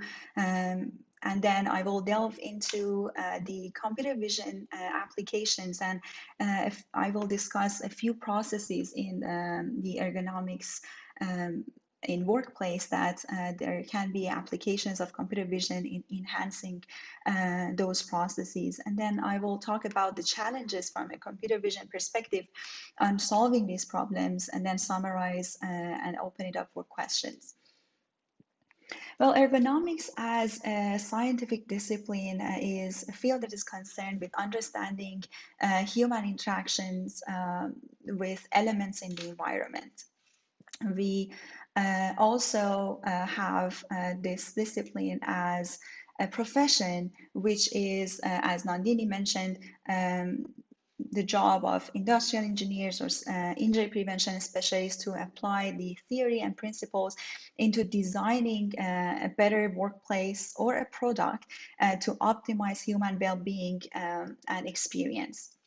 There are multiple benefits of having this uh, field and uh, this uh, type of processes and analysis uh, from uh, workers perspective or a company perspective um, it can lower the cost by reducing the incident rates, uh, the musculoskeletal disorders that happen as a result of continuous poor posture or excessive force. And on the other hand, from a product side, uh, it in- reduces the cost or increases the satisfaction of customers by offering um, a product that engaging and interacting with is pleasant and is also safe. And uh, it also improves um, a better culture, uh, improves employee engagement, uh, better product uh, quality, and higher productivity. And ergonomics can be broken down into three main uh, areas. One is cognitive ergonomics, which is uh, the area that deals with uh, mental safety, mental health of workers. And, and this is where uh, we um, see um, decision making and we also see uh, studies and uh, analysis about human computer interaction uh, and all those areas um, even like the paint on the wall uh, that how that impacts uh, the performance of uh, the workers and how the product is perceived by customers all those type of design decision makings then we have workplace ergonomics, uh, which is uh, all about workstation design and job design, equipment selection, uh, job assessments, uh, and all of that. And we have uh, organizational ergonomics, uh, which is about uh, how people come together as groups, how to manage them, how to um, think about communication, teamwork, uh, timelines, and all of that. Here today, I will be focused on workplace ergonomics uh, because um, that's where computer vision uh, can have multiple um, applications and that's actually where I also have better uh, understanding and better knowledge uh, to share with you. In that area, uh, what uh, scientists uh, or safety engineers uh, care about is to pinpoint uh, primary ergonomics risk factors. And these are um, awkward posture. So they look for awkward posture or in general, like the, variety of postures that are happening within a eight hour shift uh, of job and the type of uh, force and the level of force that is applied and exerted by people uh, and it's actually very relevant to the posture because that determines the threshold of force uh, that can be tolerated um, or can be exerted. And they also look into the repetition of actions that uh, it's very important in uh, fatigue and um, developing musculoskeletal disorders over time uh, as well as the duration of uh, job uh, and the duration of specific activity within the whole uh, process. And if we look into uh, specific ergonomics processes that they happen within the workplace uh, ergonomics, we have postural assessments. these are um, regulations like assessment that are um, offered by regulations like uh, Occupational Safety and Health Administration or National Institute of Occupational Safety and Health. Um, and I listed a couple of them here for you, um, like rapid entire body assessment, uh, rapid upper body uh, assessment, and NIOSH lifting equation. Uh, these assessments are uh, standard procedures that they take into account the type of action, uh, the type of object, and the type of uh, manipulation, like the handling of the object, posture, um, the force level, and all of that into account uh, even um, computing a level of risk. So for instance, in REBA, uh, we uh, receive at the end of going through all the questionnaires and filling out those assessments, we receive a number between 0 to 15. 0 means the lowest risk, 15 means the highest risk. And what risk means here in this domain, it's the risk of developing musculoskeletal disorders. So the higher you go, it's more possible that you develop a musculoskeletal disorder. And what a musculoskeletal disorder is, it's uh, anything like low back injuries, disc injuries, neck, uh, joint injuries, uh, muscle tension, uh, strains, anything um, that can actually happen in sports as well. Um, these are all that um, belong to these categories of MSDs uh, that are referred to as workplace MSDs. And uh, on the other hand, we have time studies. So time studies uh, help us to understand uh, what is the components of jobs. And if we want to uh, introduce a new technology, for instance, if we want to purchase uh, exoskeletons to prevent um, excessive torque on shoulders in a job that is intensive in uh, overhead reach, for instance. We want to make sure uh, that that exoskeleton is actually delivering what uh, its value proposition is, is depending on the specific uh, job or the specific um, systems and processes that are in place in a company, because uh, that's uh, going to be a lot of uh, cost for the company to purchase all these exoskeletons, for instance, uh, and we need to find a metric and a measure to be able to actually uh, assess that in a pilot study, for instance, to see if uh, we see the metric and we see the impact that we are actually looking for.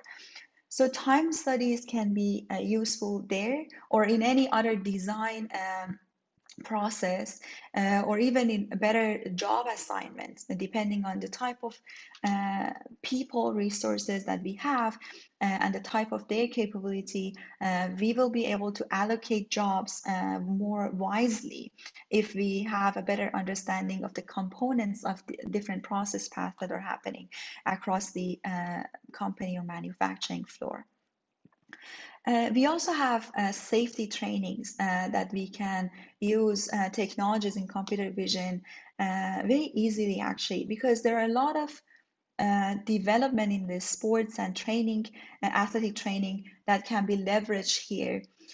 because in these safety trainings, we are doing the trainings to teach associates or workers to perform a job safely or uh, we teach them uh, or assign them warm-ups and stretches throughout the day uh, so that it uh, alleviates the stress on muscles and joint and prevent uh, the potential uh, MSDs. So in all of that, we have a lot of technology that is already in use for athletic training. And it's actually interesting to tell you that often in these works that are physically intensive, uh, the workers are called uh, industry athletes. So basically, anything that you use for an athletic training, uh, you can use um, in companies and manufacturing floors or warehouses that they have all these athletes uh, that they need training and they need support. Let's uh, delve a little bit deeper into postural assessments uh, that, as I told you, they care about uh, identifying the level of ergonomics risk. So from a computer vision perspective, we're dealing with partial or complete sequence of RGB frames. As an output, we're looking for getting a score. But these scores, as I mentioned, they are uh, also intertwined with uh, information about action, uh, information about objects, posture, and all of that. And here in this example that I'm showing you, this is uh, an application I developed for the uh, Washington State Department of Labor and Industry during my PhD that is uh, taking into account uh, pose only. Uh, and it's uh, computing REBA, Rapid Entire Body Assessment in real time, as an educational tool uh, to demonstrate uh, in workplace uh, what are the activities that are high risk from the perspective of this uh, metric. So these tools could be very powerful, although maybe from computer vision perspective, they are not the most sophisticated end-to-end algorithm, but they bring a lot of value uh, in industry when um, through educating uh, workers uh, to maintain safe postures. And uh, being able to do this monitoring system continuously allows us to develop better understanding uh, of um, the jobs and musculoskeletal disorders uh, that can happen. Because often we look at the incident rate uh, and we understand that in one process path there are multiple injuries that are happening for instance at knees but we don't know exactly what is causing that and it's very challenging to pinpoint the root cause of musculoskeletal dis- disorders because these are complex injuries that they also can happen um, as a result of um, a highly uh, physical active person at home or at the gym outside the work that um, just builds off um, the previous injuries and then it just intensifies as the person engages with their daily job. So these continuous monitoring system that uh, they can uh, bring a lot of information that is very useful in making decisions for the business. And if we want to take into account the activity recognition, uh, we in multiple of these uh, assessments, as I mentioned, we also have, uh, we need to have knowledge about action. Uh, so it's very important uh, that we um, can incorporate activity recognition algorithms uh, we, with these uh, assessment methods that exist, take into account posture, object, action label to be able to um, make these predictions either in a real-time setting or in an offline fashion uh, to be able to create a rich um, summary of the scene and um, simplify the work of an engineer or ergonomics specialist who have to uh, do all these time studies uh, and go to the um, site and make all these uh, long observations. And when we get to time studies, I would like to highlight this by showing you this uh, colorful ribbon, how fine grained some of these uh, assessments um, could be uh, with respect to actions that they take into account. That might be very different than uh, the type of data sets as computer scientists we uh, deal with uh, in academia, like Kinetics uh, 400, 600, those type that they have uh, distinct um, activities and they are often come as clips already ready for us uh, to do the activity recognition. These are often very similar actions um, and they the difference is in the level of angle of the joint or um, the terminology that ergonomics specialists use in uh, categorizing actions. So that's uh, something I wanted to highlight here that makes um, activity recognition very challenging uh, for these time studies because we want to be able to uh, identify the beginning and end of these fine grain actions uh, because we want to create these summaries and uh, create the reports on how uh, an eight hour job, this eight hour duration, um, how much of that is a squat, how much of that is uh, climbing a step tool, how much of that is walking, how much of that is walking while carrying an object, and all of those uh, fine grain actions that they exist. And so we wanted to make sure that uh, our algorithm is robust enough uh, to perform in different scenarios um, uh, for doing this uh, semantic segmentation of videos from activity perspective. Having introduced time studies and ergonomics risk assessment, let's see how uh, that is actually being done. Um, so by now you have a little bit of familiarity with the process, uh, but to iterate uh, how things are done is that usually a safety engineer, an ergonomist, or an uh, injury prevention specialist, they go to sites, uh, they have uh, the sheet for the assessment, uh, they know the questions they need to ask, the observation they need to make. Um, and they go to the site and they choose a station and, and they stay there for 20, 30 minutes, uh, observing how um, a worker and associate performing that job. And they often also create some video recordings uh, to take a look at that later on. And, and they take their notes and they often use uh, some uh, software that allows them to organize this tabular data that they collect to create these reports. And it's actually very common in uh, many companies uh, that they look for accurate uh, results of an assessment to ask multiple engineers to assess same process uh, to get an average of the reports and be more certain about the conclusions that they want to draw. And these uh, 20 minutes observations of one or two, mm, at max 10 people performing a job are going to result uh, into a report that is uh, going to summarize the whole eight hour shift across many people uh, with different uh, anatomy, uh, physiology, like diverse group of people based on just these few observations. So you see that there's a lot of potential because this, these solutions are not scalable. And for the same reason that they're costly to um, use the time of engineers for these analysis, they might actually not happen as regular as they should be.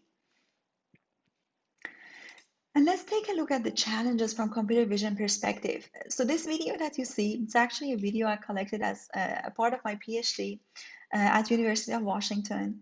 But in reality, this is not, this is like an ideal video because uh, it's the lighting is good and the order of actions it's something i instructed the person to do. Uh, and it's done very clean uh, in, with a very reasonable pace. Um, and the order of the actions are uh, very similar across all the people we had uh, recorded for this data set but in reality is that the actions are organic. There is no order. Uh, maybe in a manufacturing uh, process, uh, there are orders uh, that we can take into account. But in many other scenarios, uh, like in uh, warehouses, in fulfillment centers, the task is defined, but the order that someone is doing the task is not necessarily defined. So if you want to do analysis, activity recognition, or semantic segmentation, your algorithm should be robust in those temporal variations, let alone to uh, all other uh, challenges.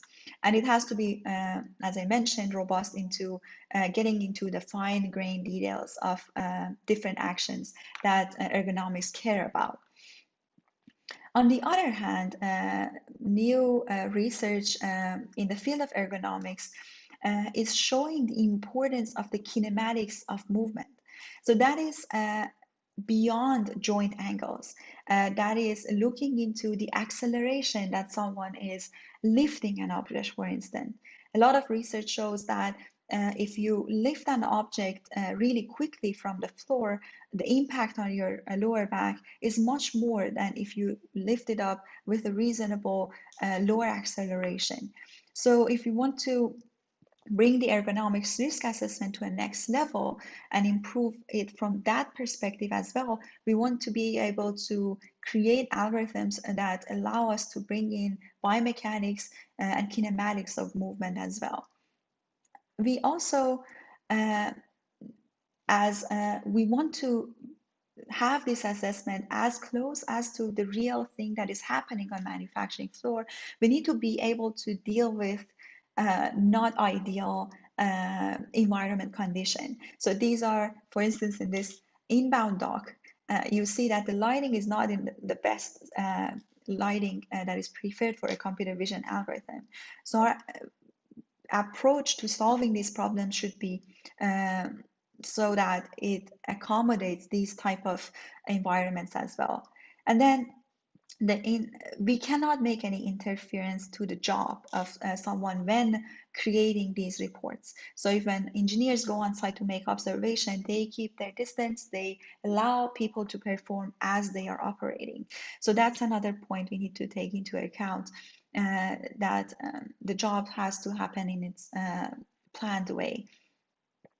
So to summarize, uh, this uh, the domain that we are looking into and we wanted to uh, work in as computer scientists is a very challenging interdisciplinary domain that cares about, uh, I mean, we will see human uh, detection, uh, pose estimation, um, object detection, and human object interaction all together in an environment that is organic.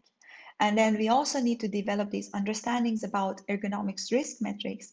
And uh, this is something uh, to talk to engineers and ergonomics risk assessment specialists that their algorithms and their um, pipelines also have to uh, get updated and enhanced uh, for adopting computer vision or machine learning solutions as well.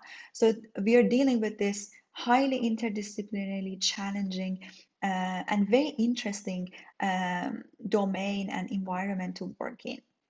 And with that, I would like to thank you all and open it up for questions. And feel free to reach out to me uh, for a coffee or any discussion. Thank you so much. If you have a question, please input in the text message for Behnoosh.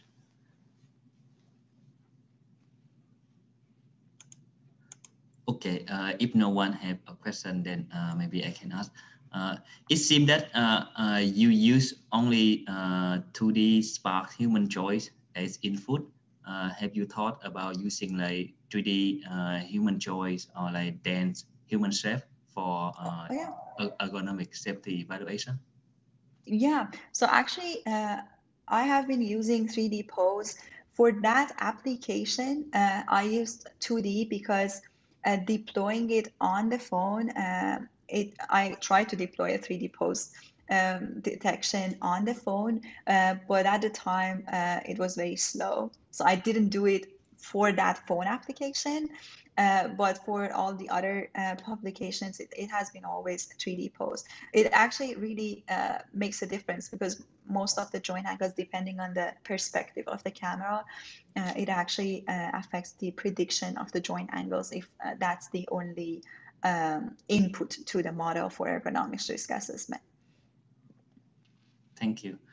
I think Karam have a question how do you define safe versus uh, unsafe action? Are there OSHA standard that you use? So uh, that is actually something that uh, OSHA and NIOSH, uh, they determine. It's, uh, I mean, that's a long uh, discussion, but there is a lot of new publications coming from uh, the uh, ergonomics uh, experts uh, that they're bringing and introducing new metrics, as I mentioned, like acceleration into account. but the metrics that are have been used in industry, they're actually pretty basic, like Rula, REBA.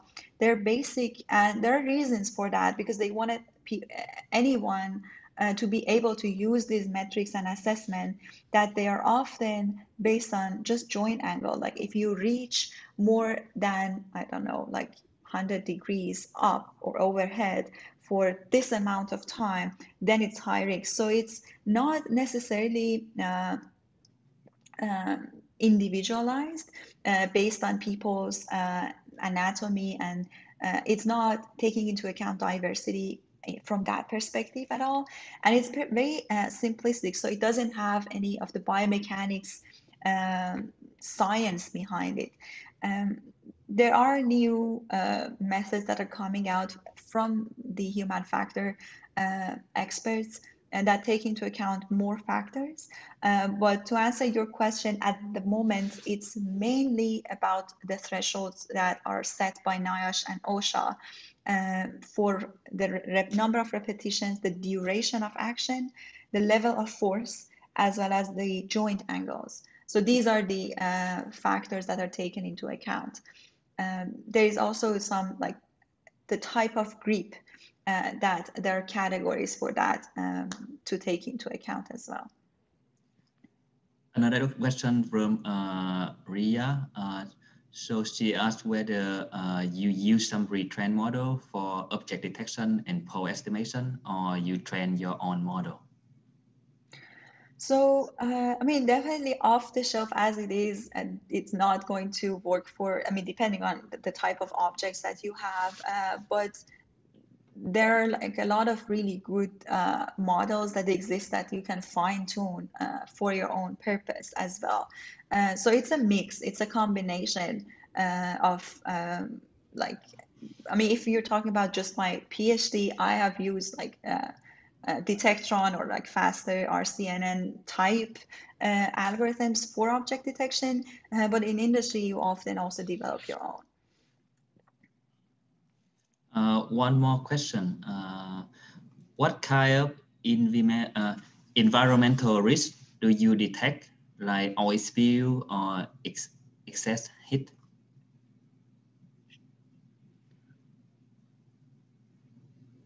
I'm reading what the question of, one more time to make sure I okay. understood it. Uh, what kind of environmental risk uh, that you can uh, detect, like oil spill or like uh, overheat? So uh, those are all like uh, different, basically risks that, as like industrial engineers or safety engineers, you care about. Um, just using vision only system, if that's what we are uh, using, probably an oil spill could be detected, but I'm not sure if excessive heat can be uh, detected just like RGB videos. The analysis of time is done frame-wise or based on video?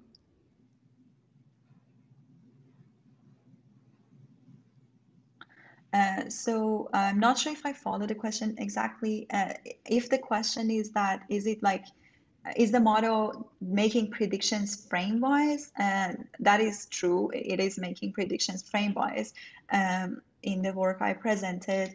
And um, but the time studies, it basically, if you predicted, I, I don't know, three squats in a video, uh, you know the beginning and end of that. Uh, you want to compute the uh, percentage of squat within that video.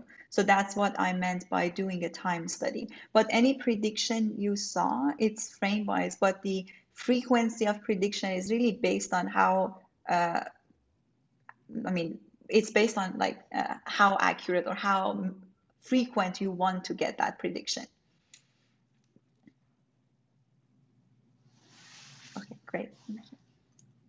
Okay, uh, thanks, Benu. Um, yeah, sure. Let us move to the next speaker. Uh, I will transfer to Zeeshan for the introduction. Everyone, th thanks a lot, Behnoosh. That was really amazing. Uh, I'll move on to, uh, so we'll move on to Bugra Tekin. Uh, Bugra, if you could share your screen.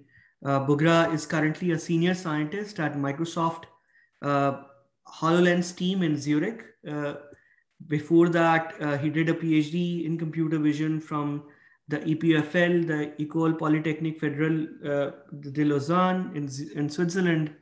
And uh, he's been working on 3D human pose estimation, object detection, how these two go together. To my knowledge, his work was one of the first to do a 6DoF object pose estimation uh, using deep learning, as far as I know. And you know, I really love this work of his a few years ago when you could just take any standard object detector and, and make it spit out you know 3D uh, poses for objects.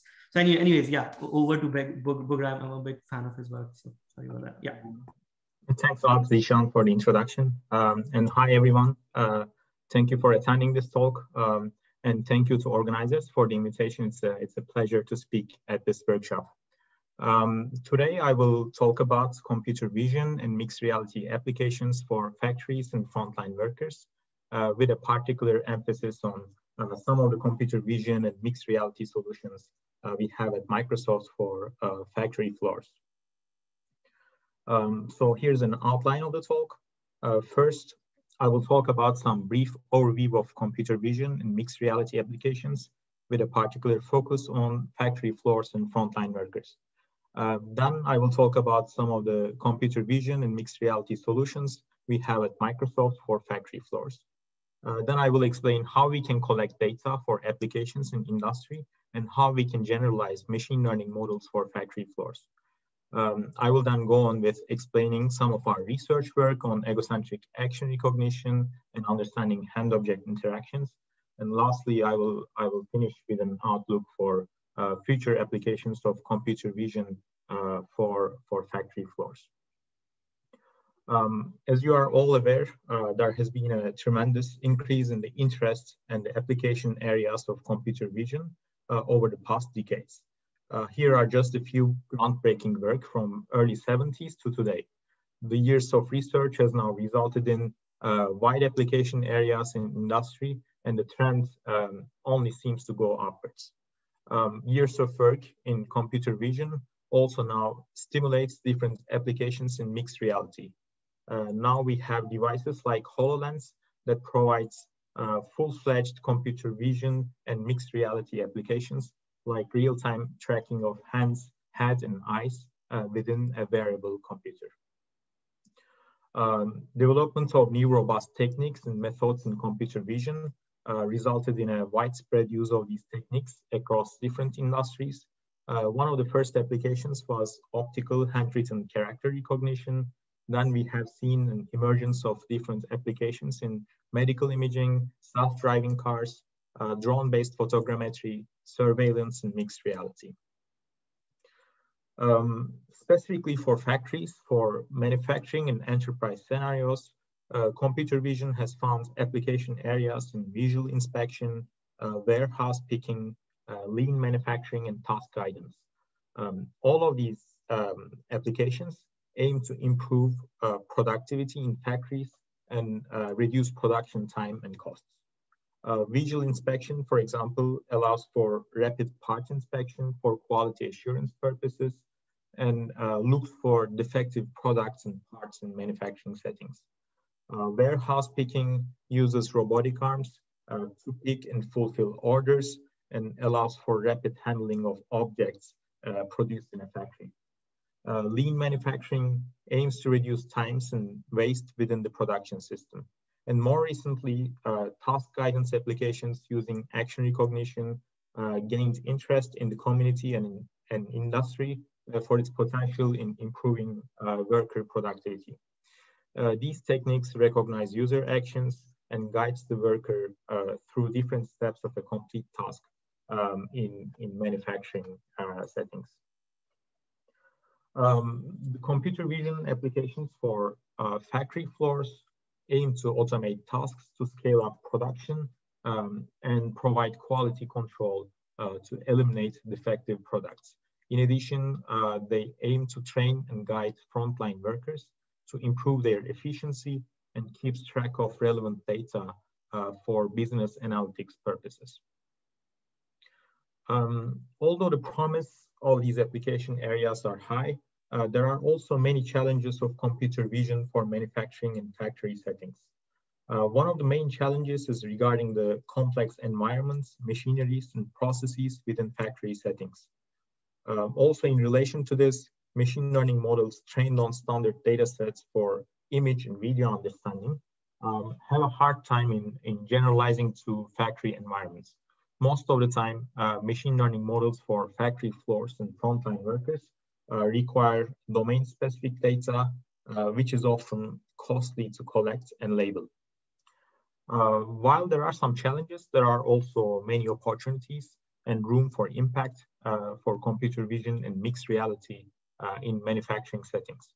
Um, to start off, um, I mean, constrained environments uh, in manufacturing settings make it easier to collect targeted data uh, specific to the application and develop machine learning models specific to that scenario. In a sense, um, the constrained environments of factory floors don't penalize overfitting that much, uh, which makes it easier to train models on such data. Uh, similarly, well-defined uh, manufacturing processes uh, don't have much variation in the data, and therefore uh, creating machine learning models on such data uh, would be more straightforward and would have the potential to provide good accuracy. Also, the uh, continuous improvements uh, in the robustness of computer vision and machine learning techniques uh, are quite promising for manufacturing environments of the future.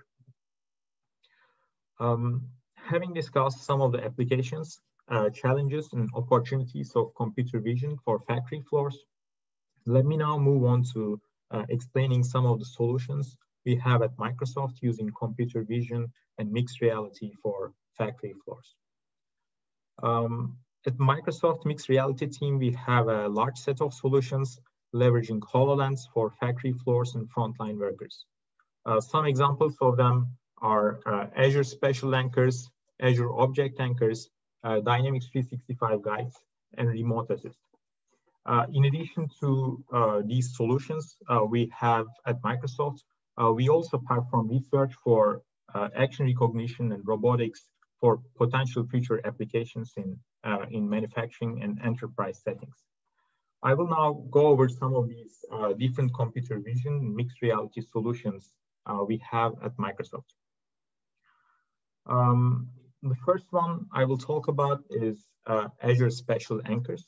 Uh, Azure Spatial Anchors is a, is a cloud-based camera localization service uh, that allows users to place mixed reality content in the 3D space uh, which persists across changes in the environment.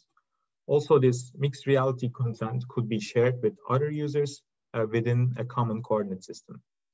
Um, Azure Spatial Anchors enables developers to work uh, with mixed, mixed reality platforms to perceive spaces, designate precise points of interest, place persistent uh, 3D holographic content in the environment, and recall those points of interest from, uh, from supported uh, devices, uh, supported mixed reality devices. Uh, these precise points of interest are referred to as spatial anchors. In the context of manufacturing settings, as can be seen in this image, um, Azure Spatial Anchors allows for placing digital business data in the form of 3D holograms within real-world factory settings for uh, facility management, uh, manufacturing, and retail in a sense, um, it puts real-time data at the fingertips of employees, enabling them uh, to make better, faster, and more informed decisions. Um, Azure Object Anchors is uh, another mixed reality service we have at Microsoft uh, that provides 6D uh, object pose estimation capabilities. Uh, with this service, even a 3D model of the object, uh, physical objects are detected by their shape using HoloLens's depth camera. Uh, it helps users to create rich immersive experiences uh, by automatically aligning 3D content with physical objects. Um, an example of this actually uh, can be seen seen on this on this image. It allows users to gain contextual understanding of objects without the need for markers or manual alignment.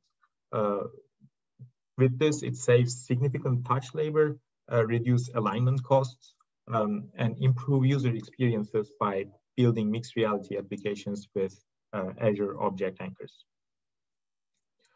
Um, another mixed reality solution for factory floors I would like to talk about is uh, Dynamics 365 Guides. Uh, Guides is a mixed reality application for Microsoft HoloLens that helps operators uh, learn the flow of work by providing holographic instructions when and where they are needed. These instruction cards are visually tethered to the place where the work is done and can include images, videos, and 3D holographic models. Operators see exactly uh, what needs to be done and where, so they can get the job done faster uh, with fewer errors and greater, uh, greater skill retention. Uh, Dynamics 365 guides uh, provides heads up, hands-free, uh, step-by-step instructions during the flow of work, uh, whether employees are doing complex procedures on the job or training away from the production line. Uh, operators control the interface with their gaze using a glance to move to the next step, which leaves their hands free to do the work. Instruction cards follow the operator as they are performing the task and as and as they move around the equipment. Uh, holograms point to the tools and parts that they need and show them exactly how and where to use them. Uh, the experience is quite comfortable and simple to use, and it helps reduce mental processing time, errors, and the need to rely on a body system in manufacturing settings. Um, managers can also use the dashboards to view rich data about how processes are working for their employees. Using this data, they can continually analyze and improve processes without having to do expensive studies. Um, by combining guides and Azure object anchors, uh, it is also now possible to anchor a holographic guide with a physical object. Uh, when an author or an operator uh, goes to their work area and opens a guide, the holographic content is automatically anchored to the object of interest, uh, as can be seen in this visualization. They don't have to manipulate uh, a hologram or scan a printed marker to anchor the guide. Overall, this mixed reality service uh, enhances learning and standardizes processes uh, with step-by-step -step instructions that show employees how to use tools and parts in, uh, in real work situations, reduce errors, and helps in increasing safety. Uh, this is also useful for business analytics applications, uh, where the time data from these holographic tutorials could be used to maximize uh, operational effectiveness. Um, another mixed reality application targeting manufacturing settings is Remote Assist, which allows technicians to collaborate with experts while they're performing their tasks, even in remote locations. With this uh, app, an expert uh, could call in a technician uh, from HoloLens while she's doing the job and can see the machinery to be able to guide the user. Uh, this can help the frontline worker to decide uh, what needs to be done on the machinery and complete the task at hand. It allows for remote inspections and combines video, screenshots, and annotations on the devices to better guide the, guide the frontline worker. In addition to the solutions we have at Microsoft, uh, we also perform research for uh, future potential applications of computer vision and mixed reality in factory settings. Uh, let me first start with our uh, first research focus. Action recognition uh, is a field we are interested in uh, due to its potential in providing better task guidance in frontline worker scenarios. Uh, here's a quick action recognition demo using HoloLens data. Here we get synchronized hands, head, eye tracking data and normalize it with respect to the object pose computed by uh, Azure Object Anchors. So once we have all this hands, uh, head, eye, and object tracking data, oops, uh, object tracking data, uh, we train on this data an action recognition model uh, based on neural network training. Uh, you, you can see here the predictions of the model on top of the visualization. So here the scenario I'm demonstrating is a, the cartridge placement setup, uh, which tries to, in a sense, simulate a task that could be done in a factory by a first-line worker. Using low-dimensional parameterized pose vectors as input to our machine learning model, uh, we can achieve good generalization with moderate amounts of data and a smaller machine learning model uh, that is easier to deploy on device. In addition to our efforts in action recognition, uh, at the Microsoft Mixed Reality and AI Lab in Zurich, uh, we perform research on enabling interaction between mixed reality and robotics via cloud-based localization. Uh, the team extended Azure Spatial Anchors to enable robots to localize to the same coordinate system provided by Azure Spatial Anchors. This allows robots to share a coordinate system and spatial data with mixed reality devices like HoloLens and also within each other. Uh, this would allow robots to have greater autonomy by accessing contextual holographic information from other devices and mixed reality uh, cloud services. Uh, in addition, colocalization with mixed reality offers many new possibilities for human-robot interaction uh, by giving HoloLens users insights into robot states and intentions and enabling natural modes of interaction through hand tracking and gaze tracking. Um, having discussed some of the solutions we have at Microsoft and some of the research we, we perform uh, in our group, I'm now moving on to um, another important aspect of computer vision and machine learning for factory floors. Uh, this is about data and generalization. Uh, the lack of data and generalization are still challenges that needs to be addressed in this domain, as with many other uh, applications of computer vision and machine learning in industry. Um, so as I just told, as with many other AI applications, computer vision and machine learning for factory floors also require specific data to be collected in manufacturing and frontline worker scenarios. Uh, to enable data collection with HoloLens, uh, we have recently released HoloLens Research Mode, uh, which allows users to collect synchronized data for head poses, hand poses, eye gaze directions, RGB images, grayscale images, and depth images. So all these streams can be correlated in time, and they can be put in a common coordinate system. Uh, we released a, a, part of this data capture tool as open source in collaboration with people from our lab in Microsoft Zurich, uh, Redmond, and Cambridge teams. Um, another aspect of computer vision models in factory floors is that machine learning models trained on standard data sets for image and video understanding uh, have a hard time in generalizing to factory environments. Uh, towards more generalizable models for action recognition, uh, in a research study, we proposed a technique for few-shot transfer learning for first-person action classification.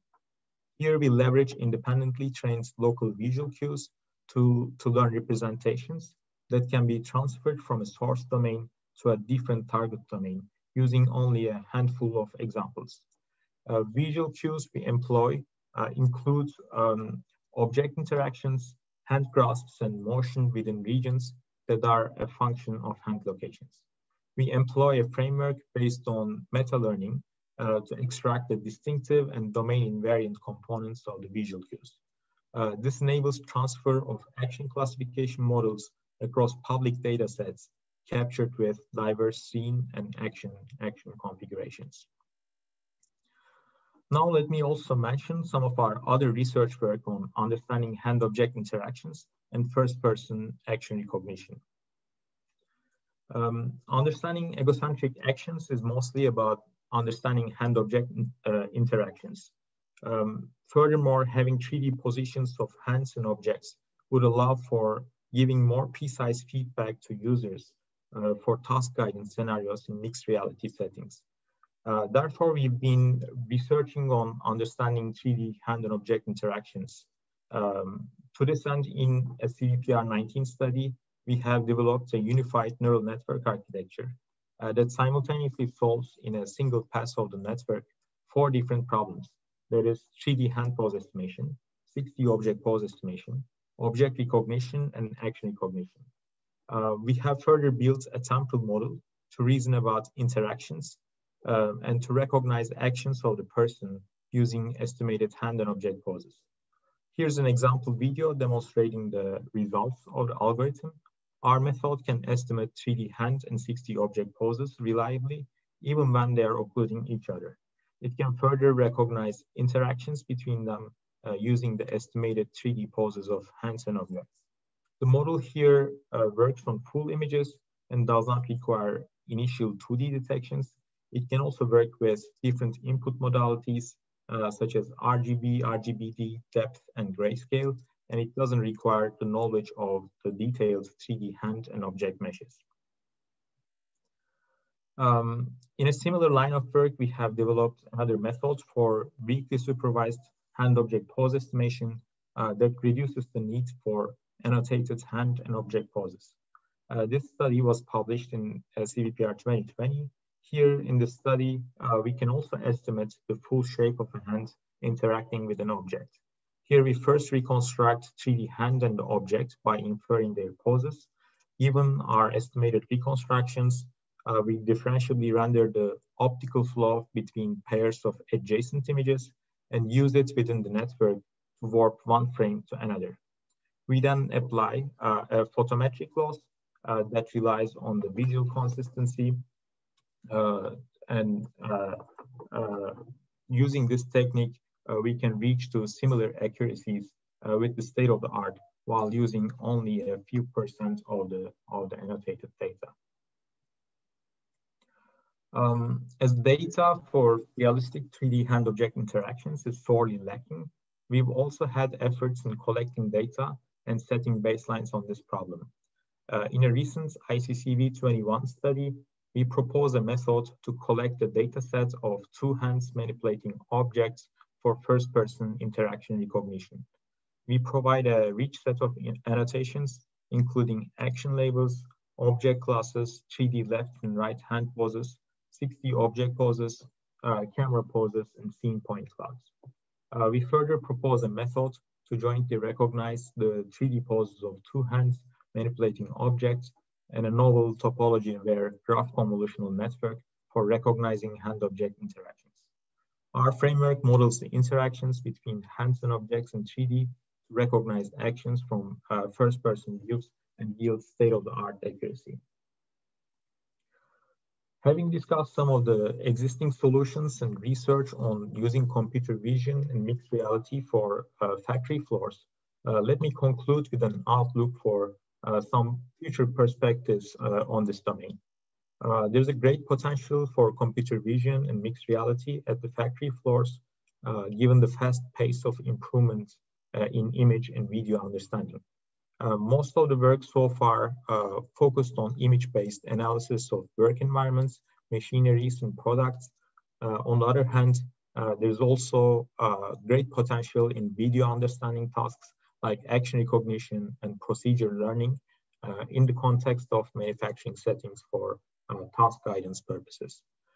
the lack of data and generalization are still challenges that needs to be addressed in this domain. Uh, to this end, uh, methods that rely on less supervision and less data uh, would make AI models for factory floors uh, more prevalent in the future. Uh, furthermore, 3D understanding of the objects and the environment around uh, would provide context-aware applications for frontline workers and would further improve the performance of task guidance, operator training, and visual inspection. So thank you for listening. Uh, I'd be happy to answer uh, any questions uh, you might have. Thanks a lot, Bugra. Uh, I'll, I'll, kick off the Q&A session with, with, with, one that, that's, uh, that's in my mind. Uh, you, you showed this example, I think, with the HoloLens, where you are tracking the scene, you're tracking the object in 3D, and then you are tracking the hand, I presume, right, to detect, understand the steps of the activity. At that, that was kind of the at the beginning of the talk but then later you also showed a lot of your work, I say including ICCV 2021 work, mm-hmm. where you could presumably do all of that without 3D tracking, right? Just just using neural networks, I presume. How do how do these two compare? Have you had a chance to maybe do quantitative evaluation? Is it helpful at all to do 3D tracking? Um, yeah, so thanks a lot for the uh, great question. Um, so uh, since we are mainly working with HoloLens, um, HoloLens already provides us um, all this high level information like uh, hand tracking, eye tracking, uh, head tracking, and it's, it's quite actually accurate. Uh, the reason why we use uh, these uh, low dimensional representations is mostly for efficiency purposes. Of course, uh, we can start from RGB images, but, but the network we would use for, for inferring from RGB images would be would be more complex and would be hard to deploy uh, on device for real-time processing. Uh, so the main advantage of using these uh, low dimensional representations uh, is, uh, is efficiency. Uh, but of course, um, like from a research perspective, it's, it's also now possible to infer all this high-level information like hand tracking, head tracking, eye tracking directly from RGB images and use it um, in terms of accuracy, I think um, like the better the pose estimates, uh, better the 3D pose estimates, the more accurate we get, uh, uh, the more accurate action recognition results we get. Um, so this will also, uh, like the accuracy will improve further with the improvements in the state of the art for pose estimation of hands and objects. Correct, that makes sense, appreciate it. Folks, any other questions for Bugra?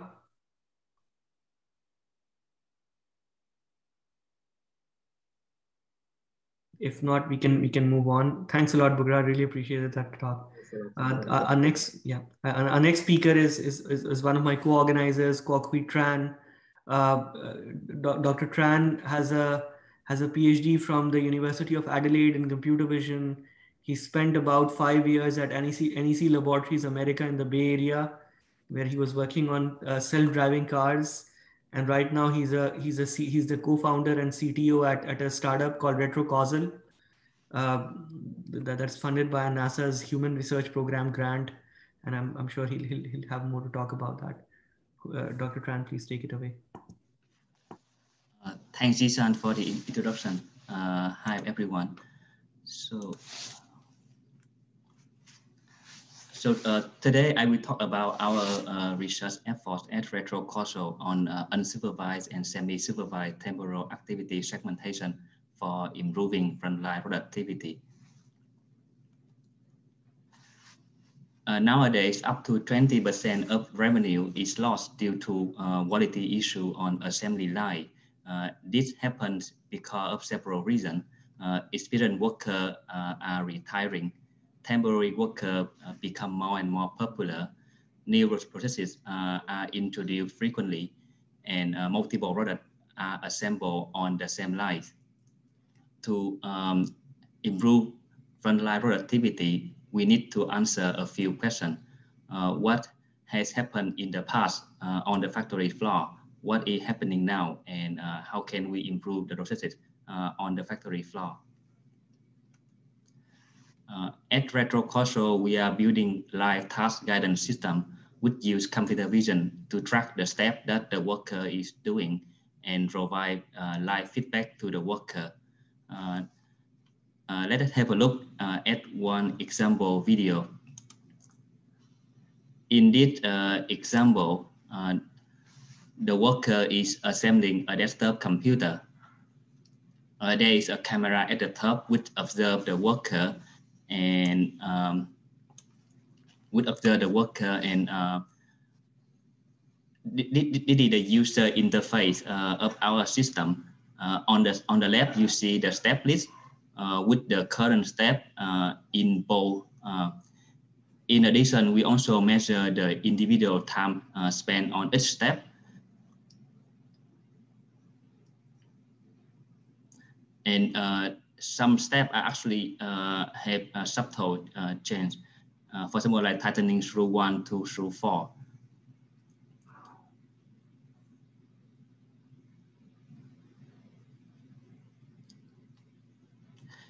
If the worker uh, make a mistake, uh, our system will notify her. Uh, as you can see in this example, the worker is the, the worker for, forget to connect the wire to the HDD.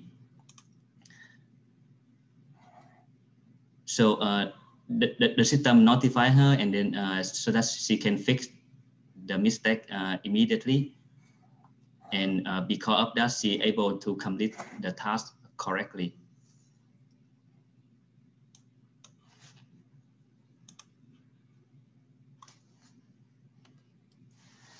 In addition, we also uh, provide both prescriptive and descriptive analytics.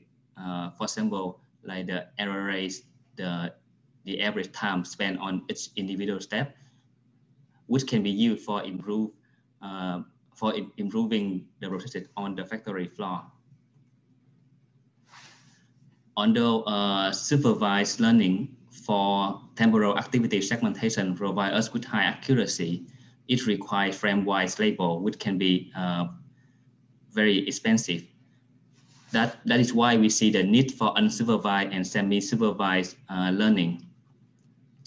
Uh, the accuracy of unsupervised learning for temporal activity segmentation is a bit low. However, it requires uh, little uh, labeling effort and uh, it can discover the task structure automatically. In addition, uh, unlabeled video, video are available almost uh, unlimitedly. Uh, finally, semi-supervised learning provide a reasonable trade-off between the um, annotation requirement and the segmentation accuracy. Uh, let me see, I can remove, okay. Um, so next, uh, I will present our uh, work on unsupervised video alignment for label transfer. Uh, this work was presented uh, at the CVPR 2021 uh, conference. So our main idea is that if we can develop a, a method for aligning the video in time, we can then use it to propagate label uh, from a set, uh, a small set of label video to a large number of uh, unlabeled video.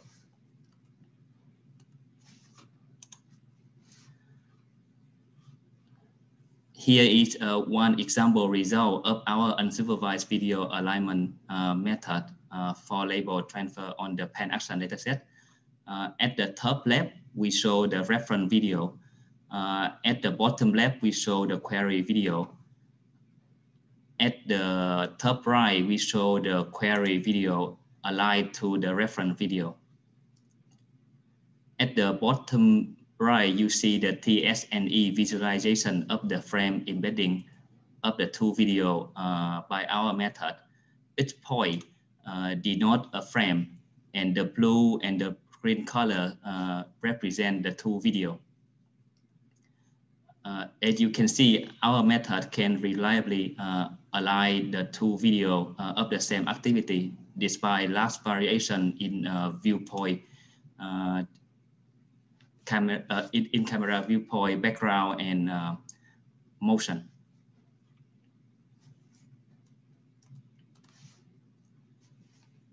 given two input video X and Y, uh, we first pass them uh, through an encoder network F theta uh, to obtain uh, the embedding, uh, the, the, frame Y embedding uh, F theta X and F theta Y. next, we use a differentiable version of dynamic time warping called Soft-DTW to compute the temporal alignment discrepancy between the two video and minimize it. Uh, however, optimizing only for Soft-DTW lead to the trivial solution where all the frame are mapped to the same point uh, in the embedding space. And uh, that produced uh, the zero uh, alignment loss. To address that issue, we add the temporal regularization term uh, called contrastive inverse difference moment or con contrastive IDM contrastive IDM uh, optimized for uh, temporarily uh, uh, representation. In particular, it encourages temporary closed frame to be mapped to nearby point in the embedding space and uh, temporarily distant frame to be mapped to far away point in the embedding space. And uh, this help avoid the trivial solution and improve the generalization ability. For quantitative evaluation, our method achieve uh, noticeable improvement gain uh, for different fine grain tasks. For example, we achieve 3% uh, uh, performance uh, gain over state-of-the-art method for fine grain frame retrieval. Uh, in addition, we also achieve significant performance gain over fully supervised baseline and state-of-the-art methods such as TCC SAL and um, TCN in the few shot learning setup. Here I'm showing uh, another example video of our unsupervised video alignment method on the Penn Action dataset. Uh, again, the, the top left show the uh, reference video. The bottom left show the query video and uh, the bottom right show the query video aligned to the reference video.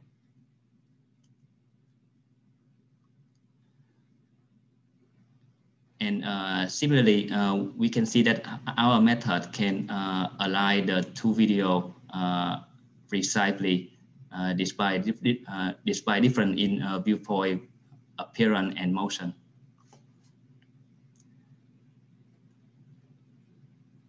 And um, this is one more example video on the desktop assembly dataset, which consists of um, a long and multi-step activity. Uh, we would like to emphasize that uh, there, there was no label used for training uh, this model. And um, notice that the, the step uh, of the activity are aligned precisely uh, between the two, uh, across the two actors.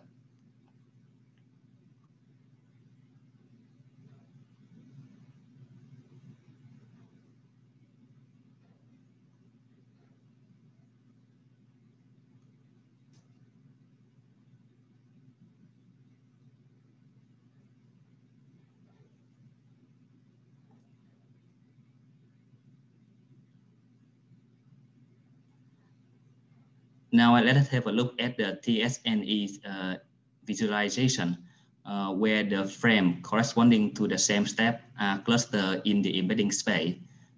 And uh, that's, uh, that is what the learn embedding function uh, is uh, supposed to do. it aims to learn an embedding space where frame belong to the same action are mapped to nearby point in the embedding, in the embedding space.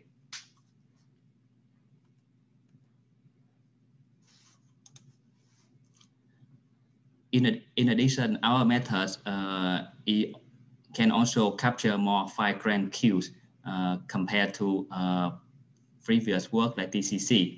Uh, on the left, we see a query image, which show the uh, stick swing back uh, step in the golf swing activity. the top row show the five nearest frame in the embedding space that are retrieved by our method. And as we can see, uh, the top images show the same active, the, the, same step as in the query image where the, the ball is, uh, can be visible uh, in these images. Uh, for, for temporal cycle consistency, uh, it, it retrieves uh, a few very similar looking images However, they are uh, at a different step uh, in the activity. Uh, for example, if highlighted by the pink circle, the bond is not visible here, which means that the action is at uh, did, did it at the, the end of the activity. Next, I will uh, discuss one uh, of our work on unsupervised temporal activity segmentation this work is going to uh, be, be, represented at the Baylearn uh, 2021 symposium. So given a collection of unlabeled video, uh, the goal of unsupervised temporal activity segmentation is to automatically segment the video and uh, cluster um, and discover the action by grouping the frame across on the video into cluster with each cluster corresponding to one of the action. Uh, this slide shows one of the example uh, result of our method. This is one of the video on in the 50 salad dataset.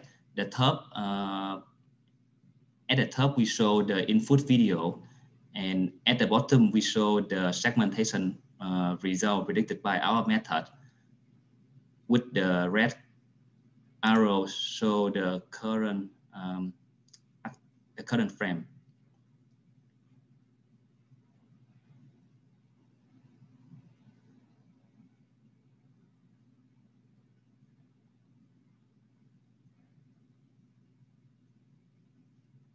As we can see that uh, our method can uh, segment the video relatively well uh, despite the subtle change uh, between the action.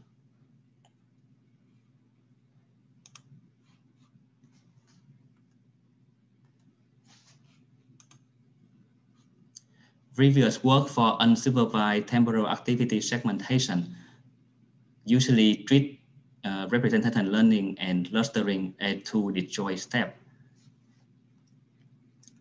so um, they they they take the entire dataset as input and they first perform representation learning uh, by using a pretext task and then compute the, the learn uh, representation for the entire dataset. After that, they will fit the learn representation for the entire dataset into uh, a clustering module uh, to, to uh, obtain the segmentation result.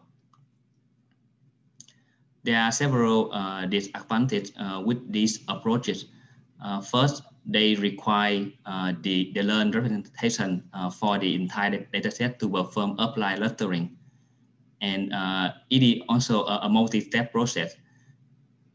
And lastly, um, it can provide inconsistent uh, cluster uh, because there's no feedback from the clustering module uh, to the segmentation learning module. Our method, on the other hand, uh, take a small mini batch as input and uh, it perform uh, representation learning and online uh, clustering in a single uh, frame, a joint framework. There are a few uh, advantages uh, with our approach. It can achieve higher accuracy and require, require significant less memory usage and also uh, because there, there, there is a continuous feedback between the representative learning and the online clustering module, um, the generated results uh, are consistent.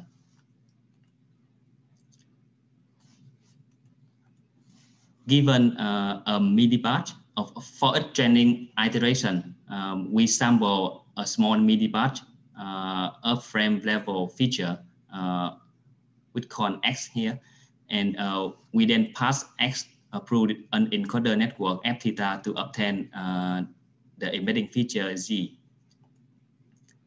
We then apply a temporal coherent loss on the embedding uh, feature Z. Uh, the temporal coherent loss uh, encourages temporally coherent representation by uh, encouraging nearby frame to be mapped to nearby point in the embedding space and far away frame to be mapped to far away point in the embedding space. To perform online clustering, we learn uh, a set of prototype vector called C. Uh, each prototype vector represent one class or one step of the activity. We then compute the similarity between the prototype and the feature to obtain the predicted cluster assignment would tell us the probability uh, that its frame belong to uh, a particular cluster. Since there is no supervision uh, signal or no label uh, for training, uh, we rely on the temporal optimal transport module to compute the pseudo route to cluster assignment for training. so we we fit uh, both the prototype C and, and the feature Z into the temporal optimal transport module uh, to compute the pseudo label cluster assignment queue. For the temporal opt optimal transport module, uh, it imposes two constraints. The first constraint is that each cluster is assigned uh, an equal number of frames. And uh, for the second constraint, uh, it assumes that the temporal order of the of the, the action is reserved. We then um, use the cross entropy loss to minimize the difference between uh, the pseudo label cluster assignment and the related uh, cluster assignment. So as the training progress, um, the cluster C, or the, the, the cluster C uh, can capture the action um, of the activity did improve the pseudo label cluster assignment, which in turn uh, improve the prototype itself. For quantitative evaluation, uh, our methods achieve significant uh, performance gain over uh, previous state-of-the-art method. In particular, we achieve 12% accuracy improvement and 3% F1 score improvement. And it can achieve this while using three order of magnitude uh, less memory as compared to previous work.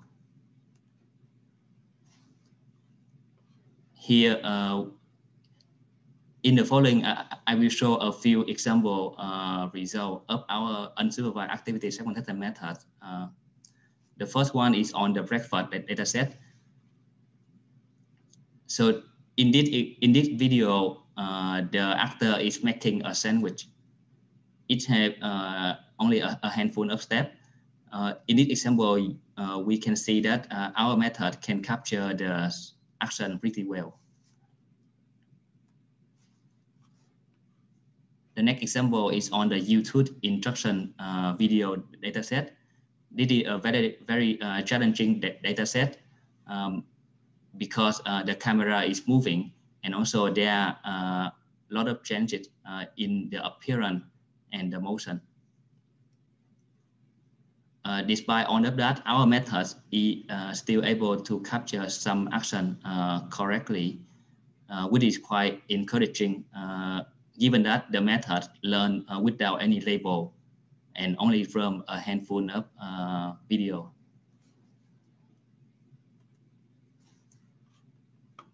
The next example is on the desktop assembly dataset. This is a, long and multi-step activity. Uh, it has 23 actions and in this example, um, our methods is able to capture uh, the accuracy, uh, the, the, the, action uh, relatively well.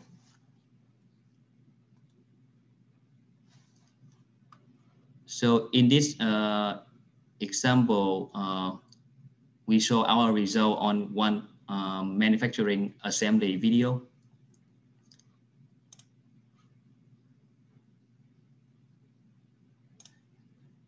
At the top, you will see the original uh, input video. And at the bottom, uh, we show our predicted uh, segmentation uh, result by our unsupervised method. And uh, the red arrow show uh, the predicted for the current frame.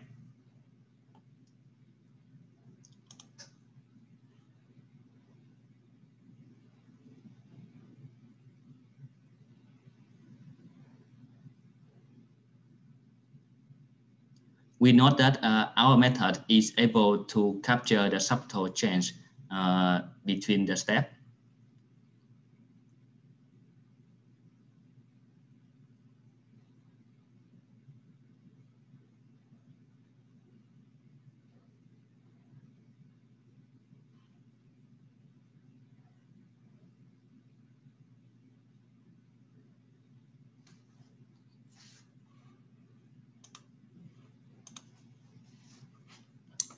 lastly, uh, I will present our work, uh, our latest work on semi-supervised temporal activity segmentation, and this work is currently under submission.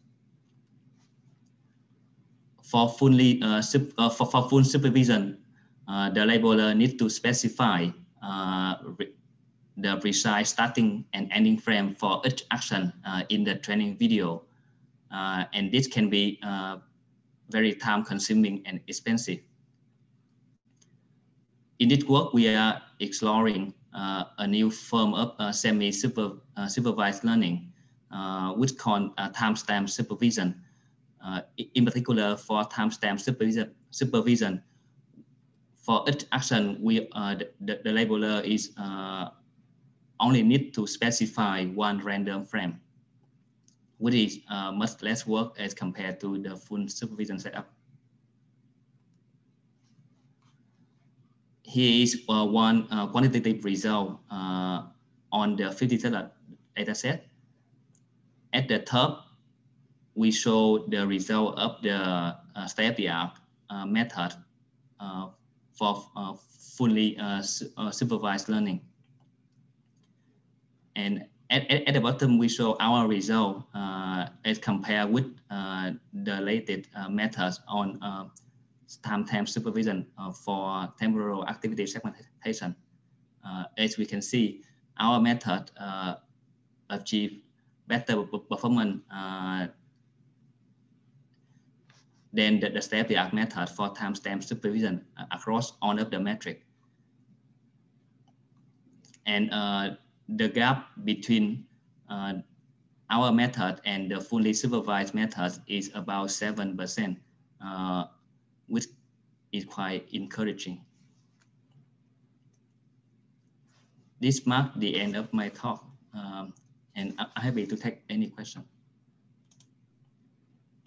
Yeah, th thanks a lot, Dr. Tran, for the for the talk. Uh, before you know to kick off the Q and A, I have one question. Is you you started the talk by saying that you're trying to understand what humans are doing, right? Trying to assist humans in what they do, right? Trying to assist human manufacturing workers. You want to understand their individual steps.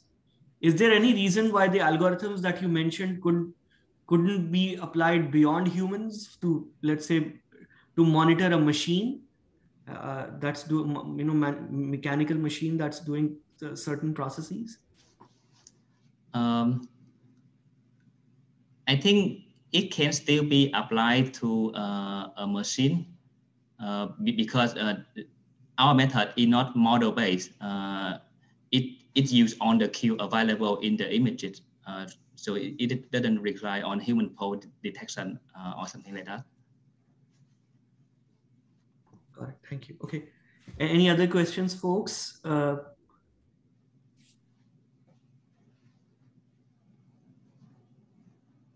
okay. Uh, if, if not, I'll, I'll hand it over to Jamal uh, for, to introduce the next speaker. Jamal.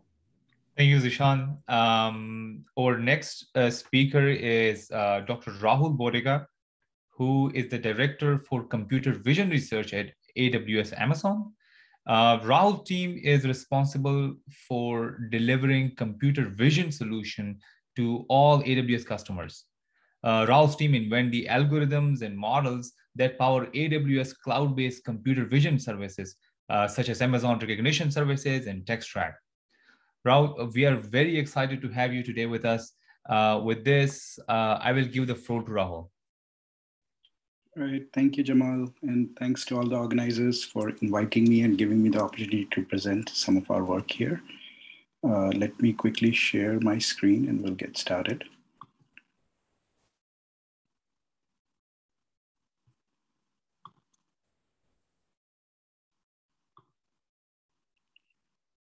Okay.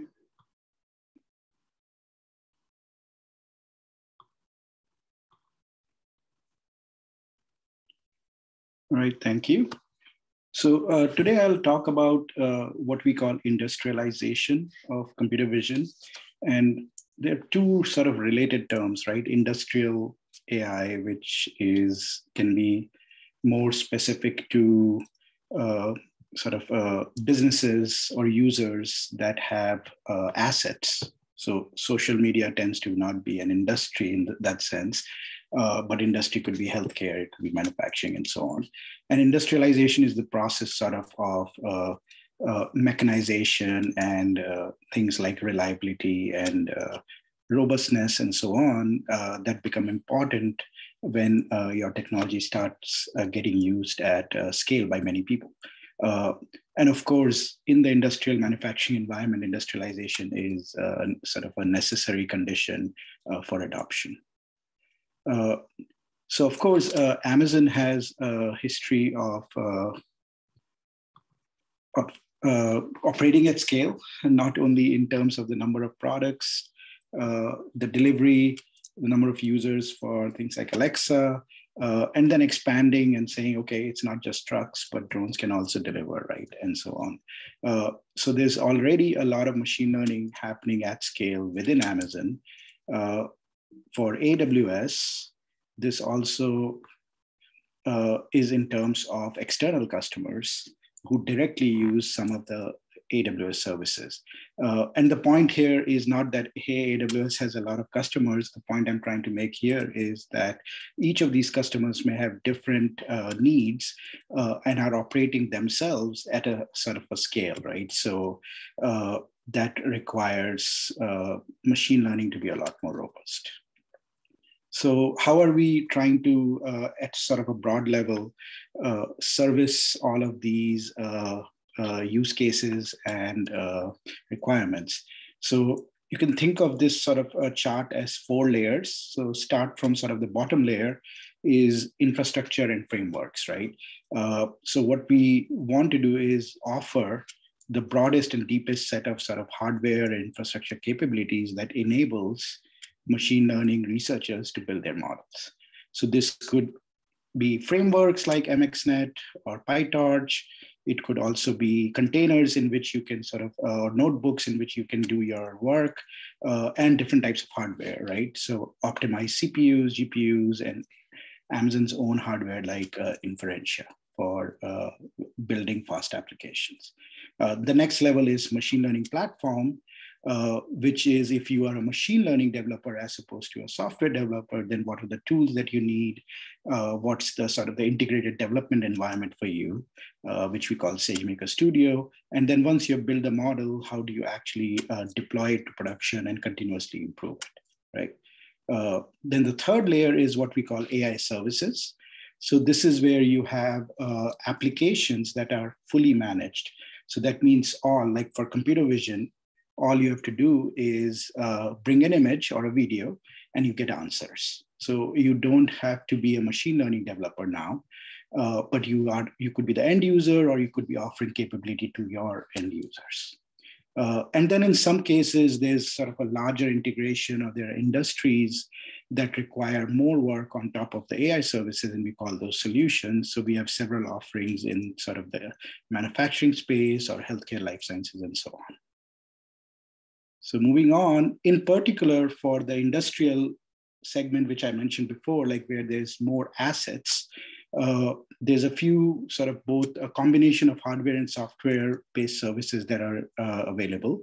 Uh, so one is, let's say you have, you have a bunch of cameras on your site in a factory and uh, you require uh, fast turnaround time or you don't have local bandwidth, but you don't have bandwidth to connect to the network and so on.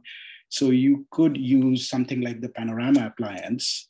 And what it does is it creates sort of a, a local hub where GPUs are available for you to deploy models and uh, connect your cameras and get outcomes. Uh, and similarly, we have uh, sensors for detecting uh, equipment failures or abnormal behavior uh, and an anomaly detection computer vision based uh, service. So before I get more into sort of the uh, core of the talk, just wanted to also give an overview of the type of services that are operating at scale uh, in computer vision in AWS. So Textract is an example of that, and this is not just OCR. Uh, so OCR would be extracting words and reading the characters in those words. Uh, but there's also a lot in terms of document structure that's lost when you create an image. But the image has a lot of information about the layout and so on. So we have built models that uh, allow you to not just extract the text, but also entities such as tables or relationships such as uh, uh, date of birth is month, date, year, and so on, right? Uh, and this is now becoming important because speaking of industrialization, uh, there's a lot of effort in terms of intelligent document processing, robotic process automation, where uh, billions of documents are being scanned and being converted into uh, more scalable representations in software instead of on paper. Uh, similarly, we have a set of uh, capabilities on what would be considered uh, sort of uh, more mainstream computer vision, uh, in terms of recognizing objects, moderating content, recognizing text in scenes as opposed to documents, uh, safety equipment recognition, face analysis, and so on. Uh, and then towards the bottom right, I'm also showing work that we are doing in terms of taking all of these models and not just offering the cloud services, but also where it makes sense, offering an edge version of those. Uh, and these little icons here, actually, what they mean is that uh, the reason for doing edge is that you might have a latency requirement. You might have bandwidth issues where you can't actually upload all of your data and get results back in a factory setting. Or you might have privacy requirements. You, you want data to be sort of contained in your local environment and not uh, propagate on the cloud. Uh, so these are uh, some of the sort of the broad services. Uh, the way they are being used uh, is across different sort of industry segments. Here in gold or yellow, I have highlighted the ones that are particularly applicable for factory settings or manufacturings or enterprises that have physical presence. Uh, so taking a brief pause here. So once you have a computer vision deployed, you have many, many users, right? So you're not building one model that will be used by yourself or just one user. Of course, that also happens, right? Uh, but you have many users and some of these users might have many use cases. Some of these users might be uh, what you would call uh, not machine learning experts but domain experts. So they know everything about their area right? So let's say a biologist who's doing using imaging to do experiments uh, but doesn't necessarily know about machine learning. So how do you use a fully managed service but give them the flexibility instead of what a machine learning platform would have right offer in terms of the things that they are able to do right? Uh, and so then you should be able to not just take the set of services that i described earlier in terms of Rekognition and extract but also adapt to the task that the user is bringing right? Improve that model continuously over time right? Uh, and while improving make sure that uh, while accuracy is improving it's still robust and reliable so things that worked before don't stop working uh, and then, as I mentioned before, scale across diverse use cases. So in the rest of the talk, I'll touch upon some of these, not all of them. Uh, and let's see, I have more slides than I have time, so we'll see how well I do. Uh, so sort of formally defining what we mean by diverse use cases, which cannot be, let's say, some uh, a large number of users is interested in person detection, right? So that's what we would call head of the distribution. And you can build a single model or a single service, which can hopefully help uh, many customers or enable them to do their downstream task with person detection and so on. Uh, but at the same time, there are different other visual recognition uh, use cases where, which are specialized. And these use cases, we don't even have the data as AWS to build a service. And even if we had the data, we would not be able to operate thousands of different mini services for each of these uh, problems, right? Uh, and this is again assuming that uh, the user is not a machine learning developer, so they need help, they can't do this on their own. Uh, so, uh, and these can be fine grained, these can be very specific. In a lot of cases, uh, you don't have enough data to actually uh, start with a decent model, but uh, which is labeled, but you may still have data, of course. Uh, another way the long tail sort of surfaces itself is in uh, just the imbalance in the data, both in the number of classes or subclasses, as well as the number of exemplars available for training. Uh, so you have to deal with this uh, both in a sort of a few shot setting and an imbalance setting. Uh, so for example, on the right, if you look at the iNaturalist data set, monarch butterflies are very popular. So here on the top left, but you will get something like uh, thousands of examples if you just scrape the internet uh, for monarch butterflies. Whereas some obscure beetles somewhere in the world might only have one or less than 10 examples. So how do you deal with this when users bring that kind of data to you? Uh, so one of the services that we have built that tries to address this problem is called custom labels. And uh, it includes the following sort of three things. So one is that you start with uh, an experience where you can actually in the system label your images for whatever task you're interested in.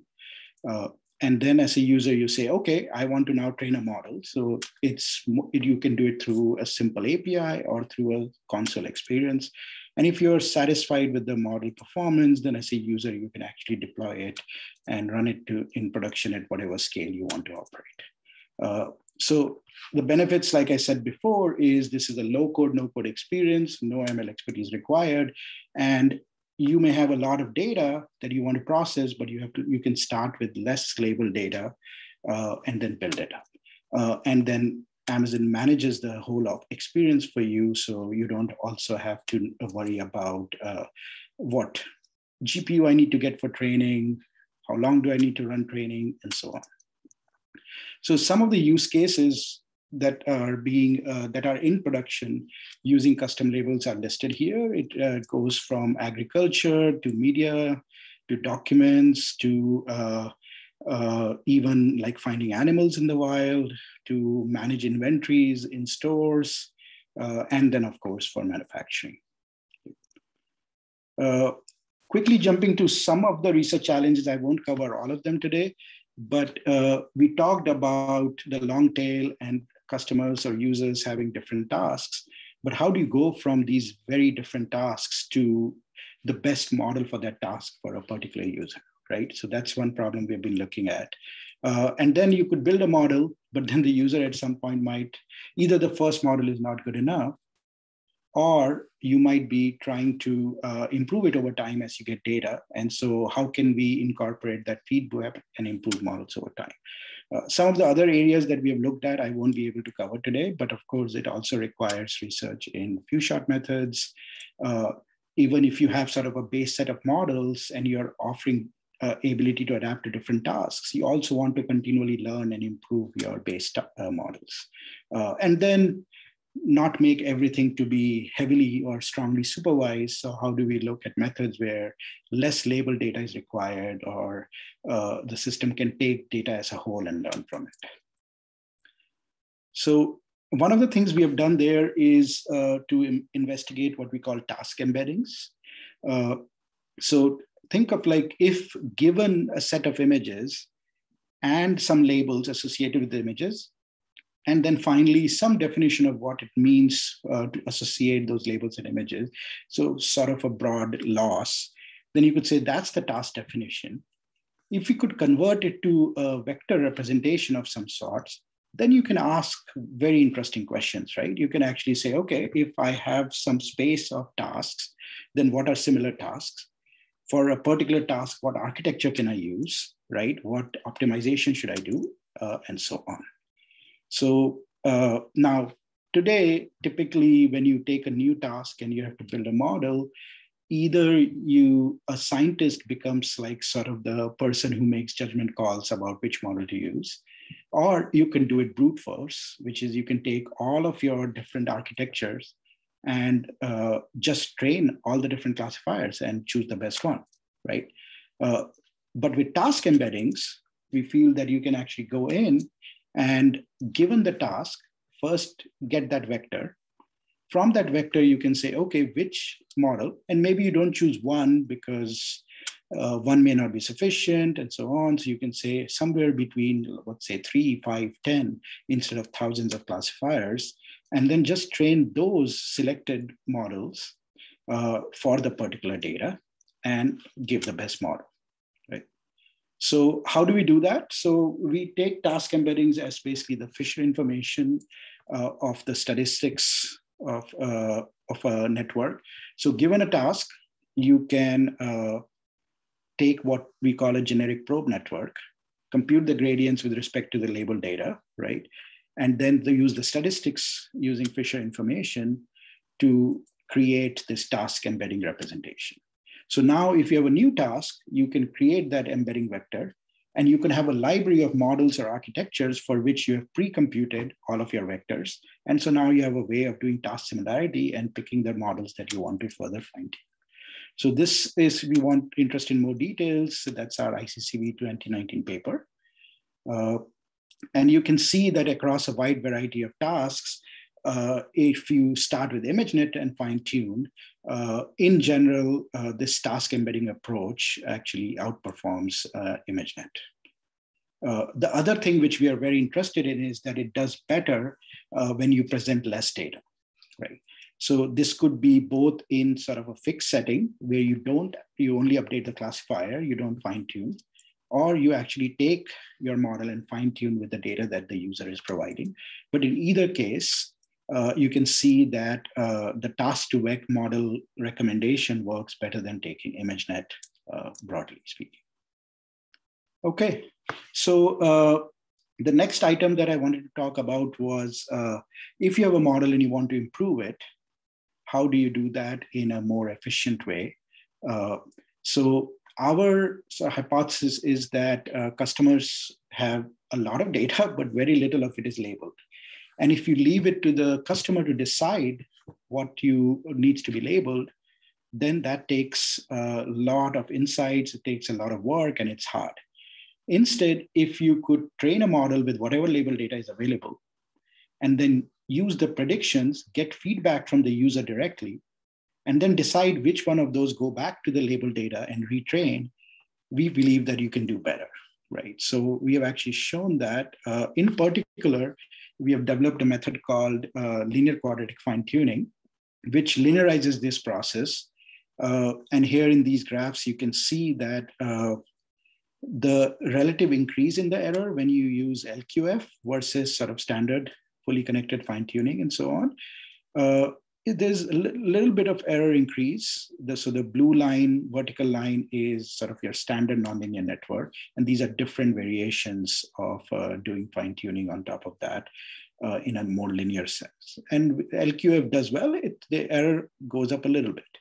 Uh, but the learning rate using this approach is actually fast. That means it, the model improves very quickly. And in the few shot setting, it actually outperforms uh, standard nonlinear methods. So, uh, so what does that enable? So instead of saying, okay, I need to relabel a bunch of data or add more data and take, I don't know, depends on your model, whether it retrains in four hours or it could take four days. Uh, instead of that, this becomes an interactive experience. And the user is constantly looking at predictions, labeling a few images, correcting the predictions, and instantly the model is improved in uh, almost real time, and then you can continue this process. So the process of model improvement now becomes interactive. And we have evaluated this on some public data set as well as some of our internal data sets. And this actually says that if you frequently update the model with small number of samples, eventually you need actually less overall data to achieve a certain model performance. And it's much more uh, intuitive to the users. So here's a quick demo with uh, beer bottles of classifying beer brands. Uh, I'll jump across this. So let's say the task is that I have different sort of uh, beer bottles and I want to sort of classify by the brand. So the user would go in and say, okay, here are all my categories, label a little bit of data, build a first model. And then at some point they start reviewing the performance, right? And so they say, oh, this, uh, these, some of these are uh, here this is really Heineken, but the system is calling Blue Moon as the first choice, Corona is the second choice, Budweiser, all of them are wrong. So I'll fix them and remove the other ones, right? And instantly LQF now takes the, this input and you can see on the bottom left, it takes the test set and it basically retrains the model and shows the performance. And you can see the screen flashing. What is happening is that it's actually re-ranking the test set and showing examples to the user and they keep repeating this process and error keeps going down. And this is a recording in real time somewhat accelerated playing at 1.5x but that's the kind of experience we would like to create for users. So at some point you can do, keep doing this and your error is sort of down and up and at that point you're basically done. You say okay that's the model that i want to use. So uh, one other area that I'll mention briefly is uh, what we, uh, it's a very similar service to custom labels, but it's targeted for anomaly detection in end of line quality inspection. So in the previous talk, you were seeing some things about process inspection and defects in that. But once everything is done, before it goes out, products usually have a QA stage, which is called end, to end of line inspection. Uh, and so we have taken the same idea of customizing tasks uh, the big difference here is that uh, you are looking for abnormalities. So in this case, you can actually start with just a definition of what is normal. So you don't require classes for abnormal. But if you add a few examples of what abnormal is, then the system actually learns from either just normal or a combination of a large number of normal images and a very small number of abnormal images. Uh, so again, many use cases, but we are building the same set of sort of uh, model zoo with model recommendation systems here uh, to take care of different tasks, right? Uh, so it's not just defects, but also absence presence uh, and uh, looking at uh, counting the number of defects, uh, is the material consistency changing and so on. And these are all examples either from public data sets or toy examples here because in manufacturing, it's really hard to show actual customer examples because of privacy reasons. One other thing we're doing is like, you can do anomaly classification, but customers also want to know where is the anomaly and they want to actually measure it, quantify it, and so on, right? Uh, so now this problem of model selection, adapting to different tasks, doing it in a few shot setting is also applicable to segmentation. Uh, so we have started to do this work. This is fairly new. Uh, and one of the things we realized is that, especially in a factory setting, you have to handle lighting variations. You have to make sure that you are actually augmenting the data for the anomalies, uh, because otherwise it will start marking everything as a possible uh, anomaly for segmentation. Uh, and then you have imbalance in the data because mostly things are normal and you have a few anomalies with segmentations provided to you. So we handle that through focal loss, etc. I can't unfortunately show examples of uh, industrial use cases there, again, for customer privacy, but we have taken the same models and applied it to uh, even healthcare use cases. So this is an example of results of this few shot anomaly segmentation method on digital retinopathy. This is a public data set. Uh, and it's basically a multitask segmentation uh, problem where we have each of the colors actually represents different types of structures and anomalies that uh, that an ophthalmologist uh, wants to detect uh, in these images. Uh, so it does fairly well here. Uh, here's another example, which is uh, I'm I apologize if it makes some folks queasy, but this is an optical colonoscopy video, and so we have basically taken good frames from a bunch of videos. There's this public data set that's available for this, uh, and applied our few shot anomaly segmentation method. Uh, and it does fairly well. You still need to do some work to smooth over the video because all the detections are being done on one frame. Uh, but then if I move forward, you will see that at some point, actually the lighting changes because they switch because they're trying to look at some contrast and what's going on. Uh, and the system still works uh, even with the, those drastic changes. Uh, and it tends to have a low number of uh, false positives uh, when there's actually things are clear, right? Or going through like there's water in the colon and stuff uh, that it does okay with. the main thing that we found, going back to that, was that using this few shot method, and this is not a surprising result, that even with 50% of the training data, you can beat state of the art. And just with 10% of the data, you can get pretty close to the state of the art. Uh, and so the takeaway message there really is that you can do a lot more with few shot methods if you design sort of your model library and do the right sort of model selection and so on.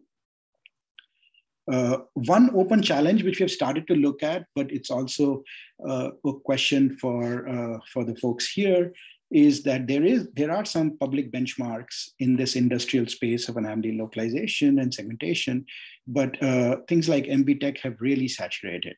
And so if you take state of the art methods, they really give you baseline performance for real world tasks.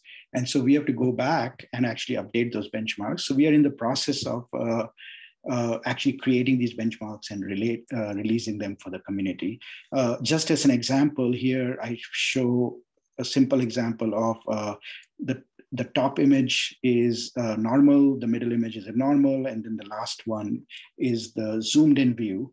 And MVTec has these examples of like a little notch in the pill, while in reality, what our users are bringing to us are here's a hundred pills in a pile, tell me what's going on before I pack them. And here, in, if I zoom in, there's one where there's a little bit of a leak happening in this environment. Uh, and that's what we are supposed to detect. So we're trying to build new benchmarks that actually model these type of harder use cases. Okay, Uh, I have about, I think, three, four minutes. So I'll quickly jump through uh, sort of the last part of the talk, which is once you have these models operating at scale, then there is an aspect of model management that also which would you would consider practical or you could say oh that's part of like sort of what a company does and so on. But there are research problems here that are pretty significant uh, that uh, we feel that the community should invest in. Uh, so one is backward compatibility. So let's say you have an embedding for a task like visual search customers are using it and then you update it to a better model it could create uh, issues and then uh, if, what if you have different compute environments? How are your models compatible or optimally compatible uh, across these? Uh, and when you have thousands of users, you can always have an improved model overall, which statistically will give you better performance. But some of those users might be unhappy because their use case stopped working. Uh, so these are three examples of research challenges we have started to look at uh, with uh, industrialized CV. Uh, so I talked about the search example. If you do a model update from V1 to V2, they become incompatible. And so you can't really sort of match your queries where the embedding is produced from a new model from your older gallery and compare. So you have to uh, develop methods that do cross-compatible uh, search. And we have done that in our work in 2020, where you basically say that, okay, we'll take the new backbone but make sure that the new backbone's output is connected to the classifier of your previous model. And that influences the loss so that uh, this new model that you're learning, wherever data set is overlapping, it is able to get input. So it builds its own classifier, but it also is compatible with the previous classifier. Uh, similarly, if you take that same visual search example forward, uh, you also have the issue of indexing your data in the cloud, but then you are running it on the edge. And of course, you can always recompile. There are several methods to take a model and compile it, but that necessarily doesn't give you the best answer. So you have to make a hard trade off between uh, accuracy and efficiency, right? Uh, and so this sort of uh, heterogeneity between the indexing model and the query model, uh, what we have done is taken the backward compatibility concept and incorporated it into neural architecture search so that your edge model is not only compatible, but also gives the best possible performance. Uh, and so in this paper at CVPR 2021, we have shown that as compared to sort of popular networks, our method called CompNAS does the best.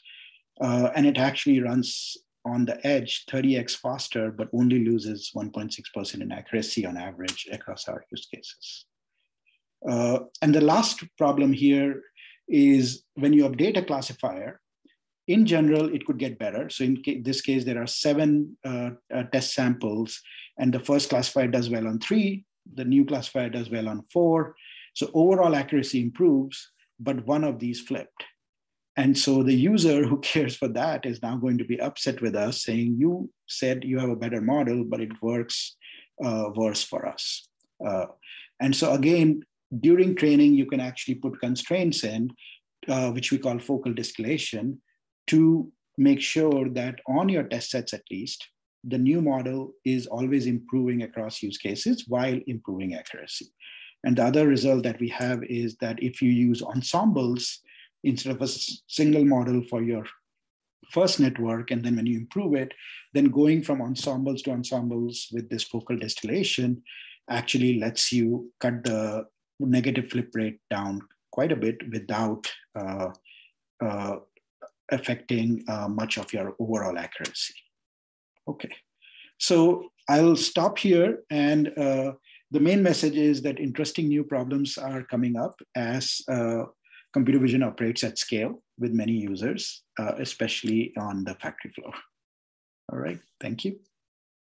Thank you, Rahul. Uh, really interesting talk there. Um, we actually have time for one question. Uh, uh, we have a question here from Khurram. Uh, what is the acceptable level of accuracy for clients from the industry that you work with usually? For example, related to anomaly detection. Yeah, so that's a great question. It varies. And I think uh, you will see that it, it depends also whether in some cases precision is important or recall, right? So uh, if you are on, in social media and you want to find every all people that are in your videos, you need to have good precision, but recall may be a little bit low because you can still get by, same for products such and stuff. In the anomaly space, of course, what we have found is that uh, uh, customers go through two stages. One is where they do sort of a proof of concept and they want performance to be north of 90% in general, uh, both in precision and recall. Uh, it's that's important because of course recall you don't want to miss the defects, but if you identify too many things, then uh, it adds so much work that it makes for a process that cannot be used uh, in production. And then after the POC is done, then they actually start doing scale experiments and it depends on what quality rate they are able to qualify. In general, the view is that you should be able to take uh, your average quality inspector and make them an expert inspector. So uh, before I joined Amazon, I worked at GE, and in a lot of use cases for GE in aviation and healthcare and stuff, inspection usually required 99% or more for the expert. Uh, and then the average quality inspector was at 95% or so typically. Uh, so if you can have that sort of bridge that gap and improve, then it actually is usable. Thank you, Rahul. Very interesting talk. Uh, thanks again. And uh, if you have more questions, we can forward that to you. Um, thank, thank, you. you. Um, our uh, next speaker is Dr. Cordelia Schmid uh, who is well known in the computer vision community. Uh, she is the director for research in INRIA, Paris. Uh, she was recently also awarded uh, the 2021 PAMI Distinguished Researcher Award. Uh, we are very excited to have you today with us, Dr. Sh Dr. Schmid. with this, I will give the floor to, the floor to Dr. Cordelia Schmid. Thank you very much. Let me try to share my screen.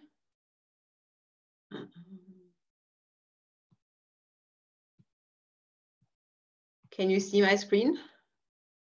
Yes, we can see that. Is it in full mode? Uh, nope, it's not in the full mode. Right, maybe something is wrong. Let me stop sharing. Let me try again.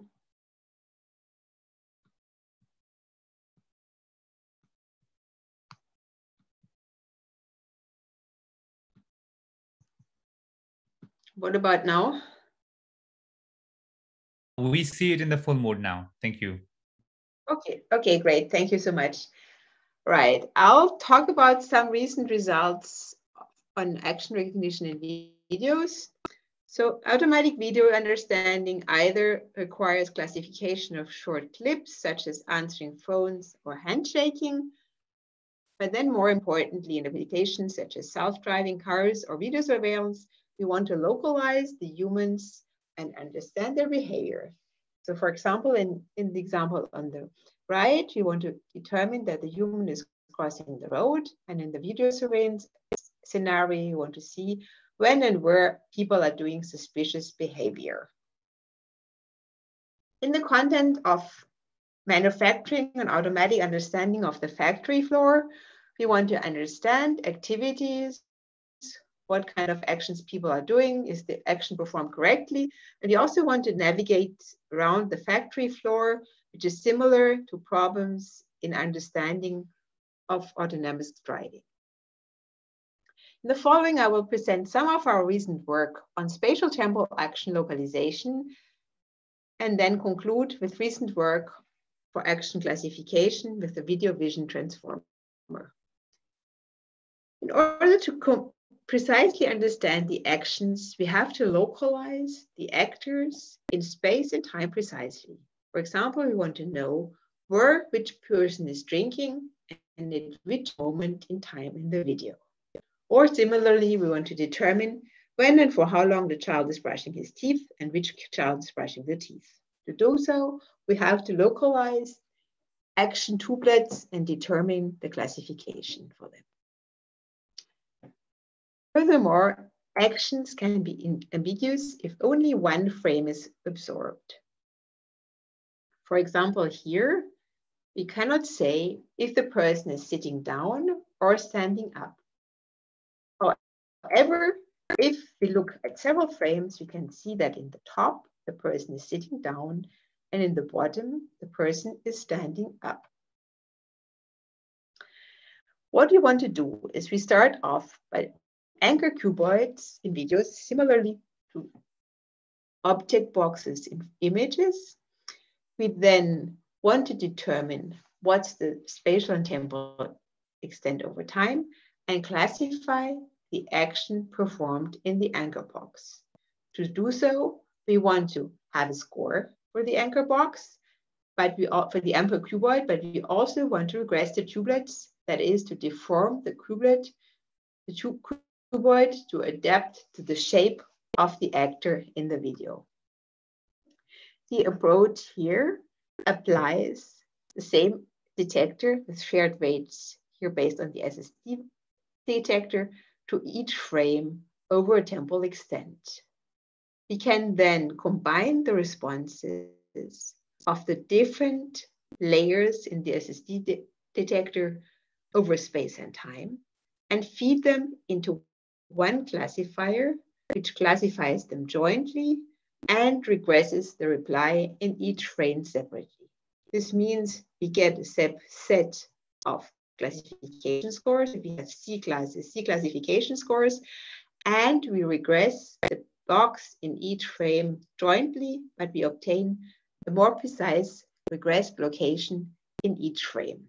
This means from a cuboid, from an anchor cuboid, we can go to a regressed localization.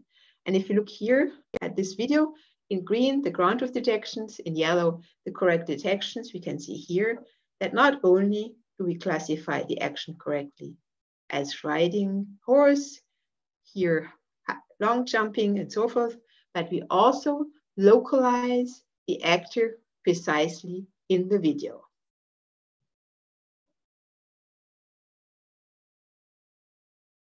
Here another example, again, it's relatively easy to determine that the person is skiing, but here we really want to localize the precise skiing position, and here even more importantly and more difficultly, the localization of the diver, which is really a difficult problem. And if you just apply tracking, it would be much harder. While if you use our tubelet approach, it manages to follow the actor correctly through the video.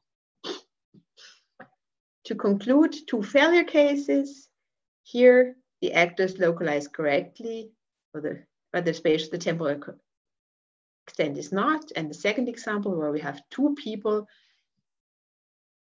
uh, ice skating together, we can see that we don't manage to localize both people correctly and, and model the interaction between the two. To do so, we have introduced an additional component which models the spatial and temporal relations within the frame. So instead of just modeling the the box, the spatial box for one actor, we also model the relation with other objects.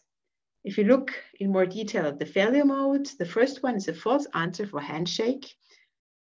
It is really reaching out the arm, but given that we don't see the other person and don't model the interactions with the other with the other person, we cannot determine that the other person is not reaching out the arm. The second example is a false answer for smoke. The hand is carving the mouth, but there is no hand, cigarette in the hand. To model these interactions, we not only model the humans, but we also model the objects in the environment. So what we do is we have a set of actor tubelets and model by relations in the actions with the environment. The output we will having is then the actor is talking and holding an object. So not only do we determine the action of the actor, but we can also see that the actor is holding an object.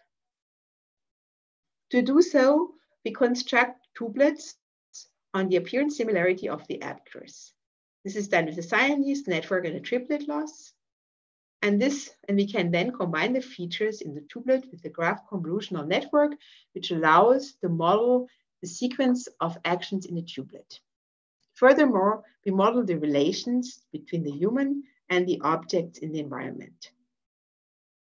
We rely on soft assignment to integrate the features. We can see here that by adding this sample relation learning, we go from an incorrect label here, sit, to the correct label and a precise way of following the actor in the sequence. Similarly, if we look at what does the relational modeling do, we can see here on the left, the baseline approach models the action as hold. But if we then look at the objects in the environment, we can then see that the, the action is modeled correctly as eat, as we take into account the fork. We can also use this kind of relational modeling for action forecasting. This is to go one step further and not only say what the current action is, but predict what the person is going to do in the future. So for example, here, should I wait or should, can I cross this, the road? Or the other example, is the girl going to fall down the stairs or not? A couple of more examples. The people on the left are sitting and talking, and then we can predict by giving the fact that we see the glasses in the video that they're going to next clink the glasses. The example in the middle, somebody is holding, is holding something and standing, and the next action is serving packet. To do so, we take into account the past and present observation and predict the future.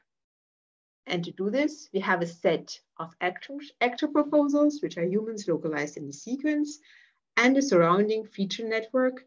And we then model with the graph neural network the relations and the, the, the temporal attention in the future. If we look here, we have a video up to frame T, and we forecast the action eat. You can see here that the action is correctly forecasted. If we look at the second example, we can forecast the action get up, and we can see here that the correct action is forecasted. Two more examples, we have video up to frame T. We can then forecast that the next thing the person is going to do is person is going to read. And on the bottom, person is walking towards the door. And we can then forecast by modeling the interactions between the person and the door that the next action is opening the door. And here two failure cases, we can forecast, here the, the action which is forecast is getting up. But in reality, it's a wrong duration. The person is not is, is proposing, but the next thing he's getting is he's not getting up, but he's still sitting. So the duration is wrong here. And then the second failure case is somebody, you can see that there's a door half open and actually there are multiple, the prediction is closing the door, but there are actually multiple futures. And instead of closing the door, they're opening the door. But given that the previous action is not completely clear, we, are, we have these multiple futures and cannot predict correctly the subsequent actions. So this means actually that if we do action predictions in many cases, we should not only predict one possible future, but we should predict multiple possible futures with positive probabilities. And we can then extend this action forecast to behavior predictions for self-driving cars. In the context of self-driving cars, one important problem is the prediction of the intent of a vehicle. It requires to understand the scene and then dynamically predict the behavior of the vehicle. So here you can see the other cars in blue, which are moving around in the scene. And what we want to predict is that the, the car in white is going to turn left. We're going to see if this is possible or if he's going to hit into other cars. This is a classical problem in self-driving car, but it could also be used in factories if you have robots moving around the factory. Both approaches represent the environment the high definition map, and the agents moving around in the image as images and encode them with convolutional networks. This is costly in compute and memory. And it's also challenging due to the long range geometry. So if you only have images, it's impossible to model or it's difficult to model the long range geometry.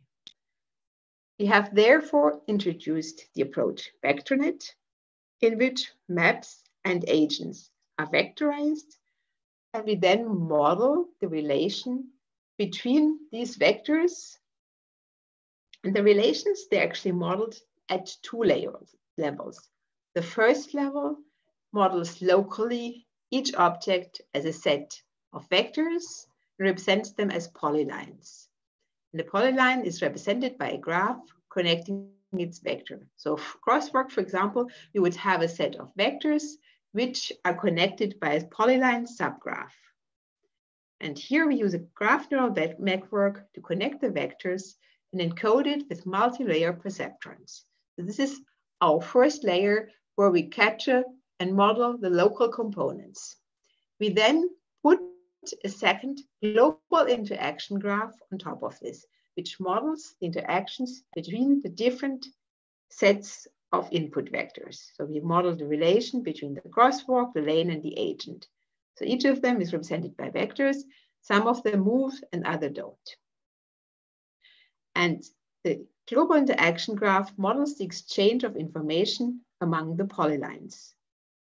It's fully connected and implemented with self-attention. For training, we have we rely on supervised training, which is based on a large number of example sequences. So If we have cars driving around, we have a very large number of example sequences, which we can then use to train our system. We rely on two complementary losses. The first one is the L1 loss for target trajectory prediction. So we have a trajectory up to time t, and we want to predict the future trajectory data points and use L1 to compare the future with the predicted ones. We also use map completion loss, that is, we map out nodes in our fully connected graph and then use masking loss to map them out and predict them. This further stabilizes the structure of our graph network. For experimentation, we rely on the Argoverse motion forecasting dataset. It contains approximately 300,000 five-second long sequences. It includes vehicle trajectories and map information. We use from zero to two seconds as observation, and then predict from two to five seconds the future. And the observed trajectories are obtained with an automatic perception system and are thus noisy. As metrics, we use standard metrics, which are the average displacement vector error in meters computed over the entire predicted trajectory, and the displacement, displacement error at t in meters when we're at one, two, and three seconds.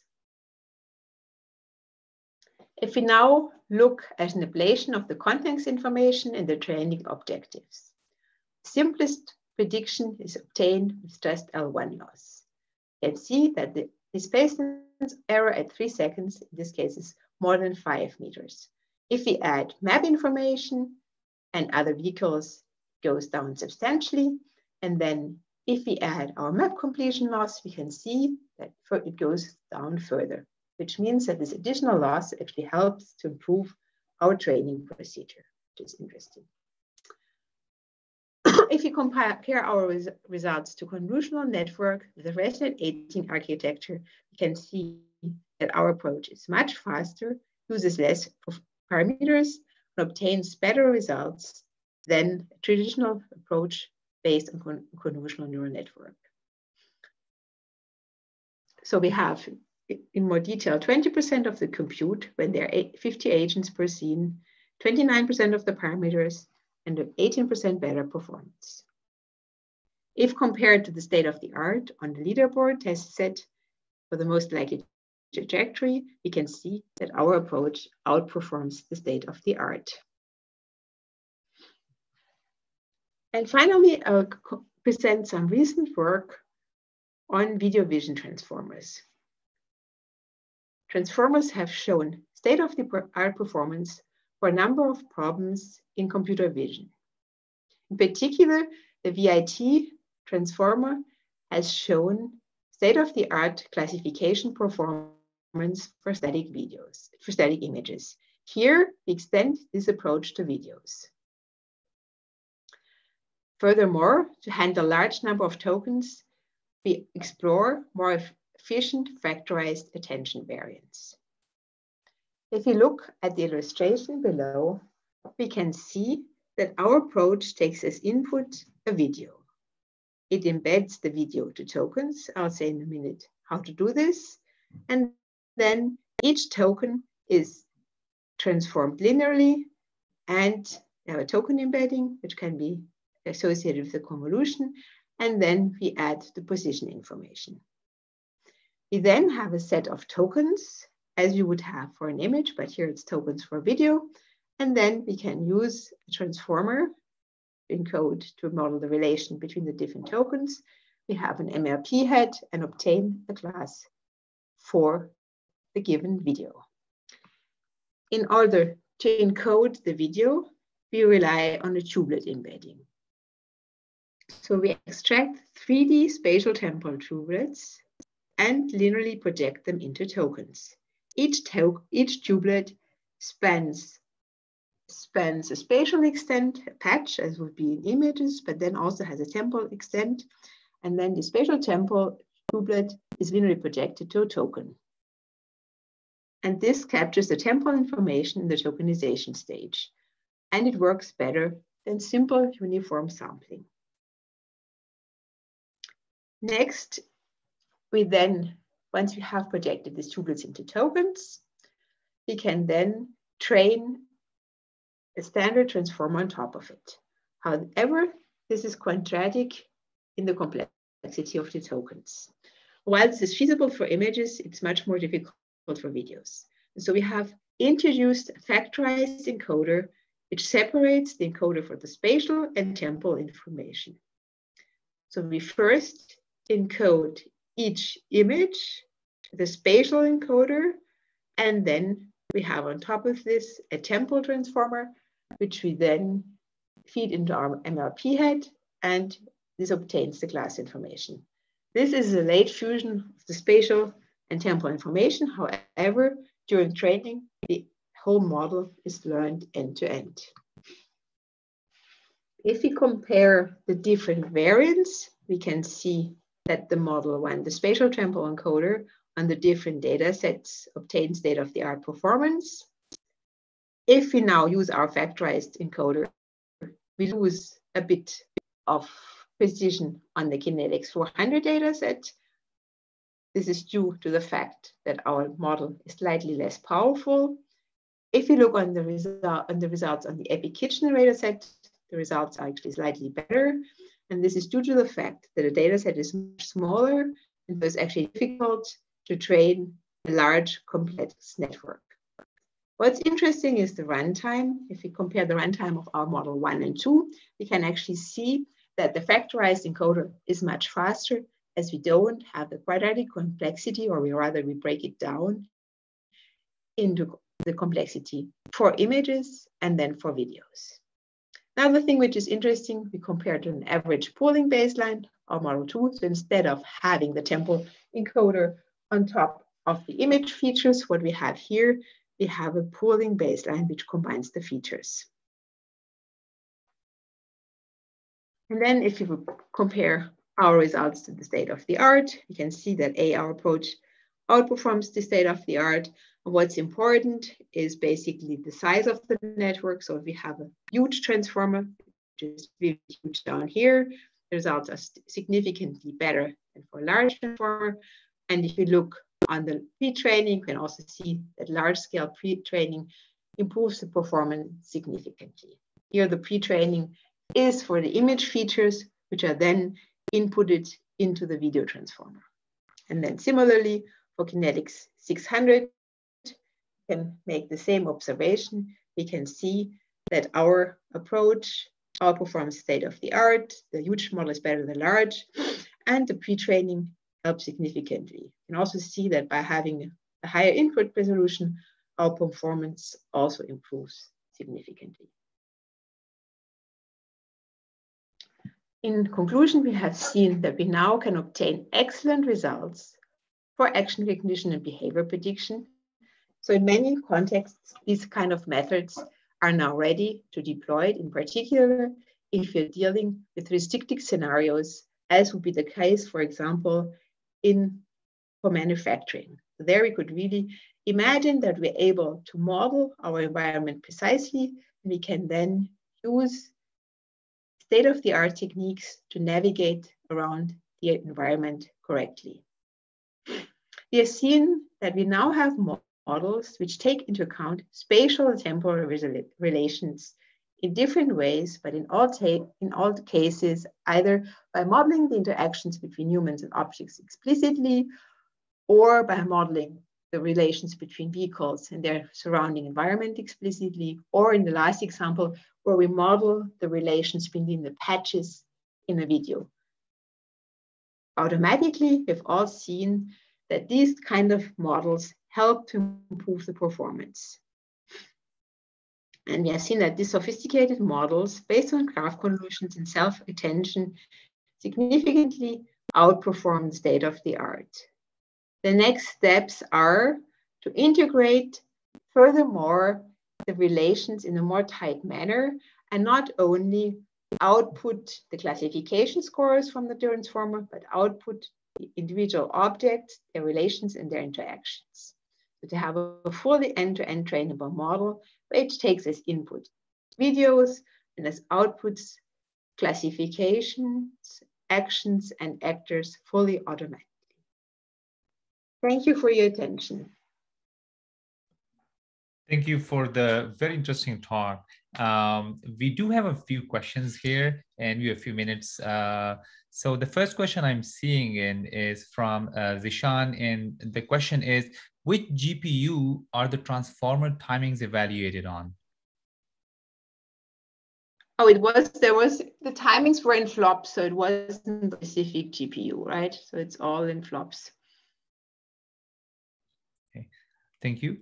Um, then we have another question from uh, Huram. Uh, for your work relating to vision transformer in your experiments, was there any analysis showing for which actions and activities does the model work well and which ones does it perform poorly?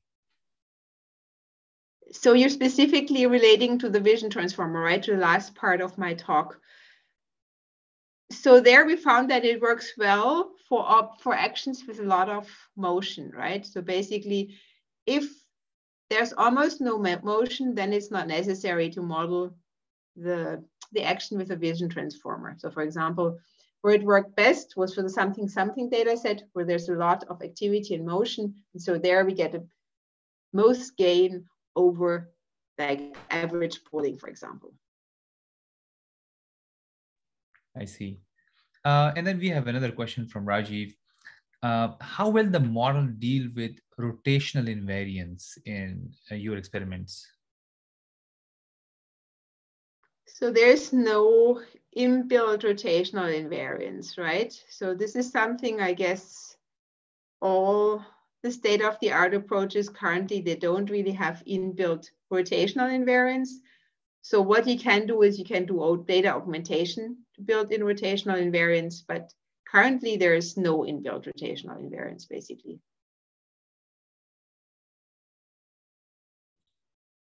See, um, do we have any more questions? Looks like uh, these are all the questions we have. Uh, uh, I want to thank you again, uh, Dr. Cordelia. I think there was one there was one more question actually for behavior prediction. Have you tried your method with multi-person activities, right? Yes, uh, it, it is my question. Uh,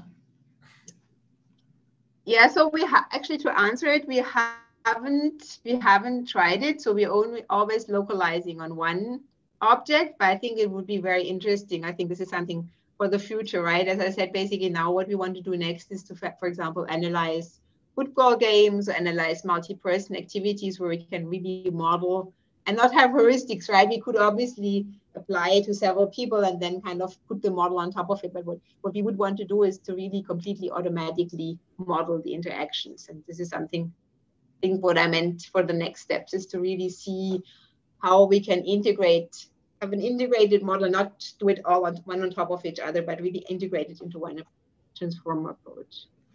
So this is actually an interesting question. It's actually things which we want to do for future work. So thank you. Uh, there's also another question from Ovas. Um, are the state-of-the-art action recognition models able to track of able to track long temporal actions and keep track of the prior and posterior steps? Yeah, I would say currently not not right. I mean, they're they kind of can track if the conditions are well favorable, but currently I think this is like the open steps is like multi multi actors models and then how to model long range dependencies, right? For now, and it's also a problem with the data sets, right? For now, all the data sets, they're pretty short, it's short clips, but there are no data sets which go towards really long-term temporal dependencies, actually.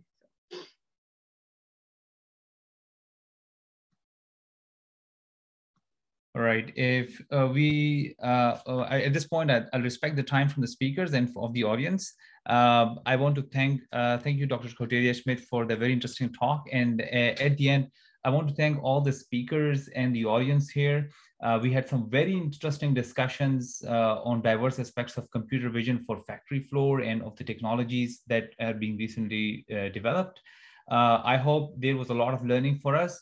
have a good rest of the Sunday. Thank you. Thank you. Thank you. Bye. Thank you. Everyone, thanks a lot. Bye-bye.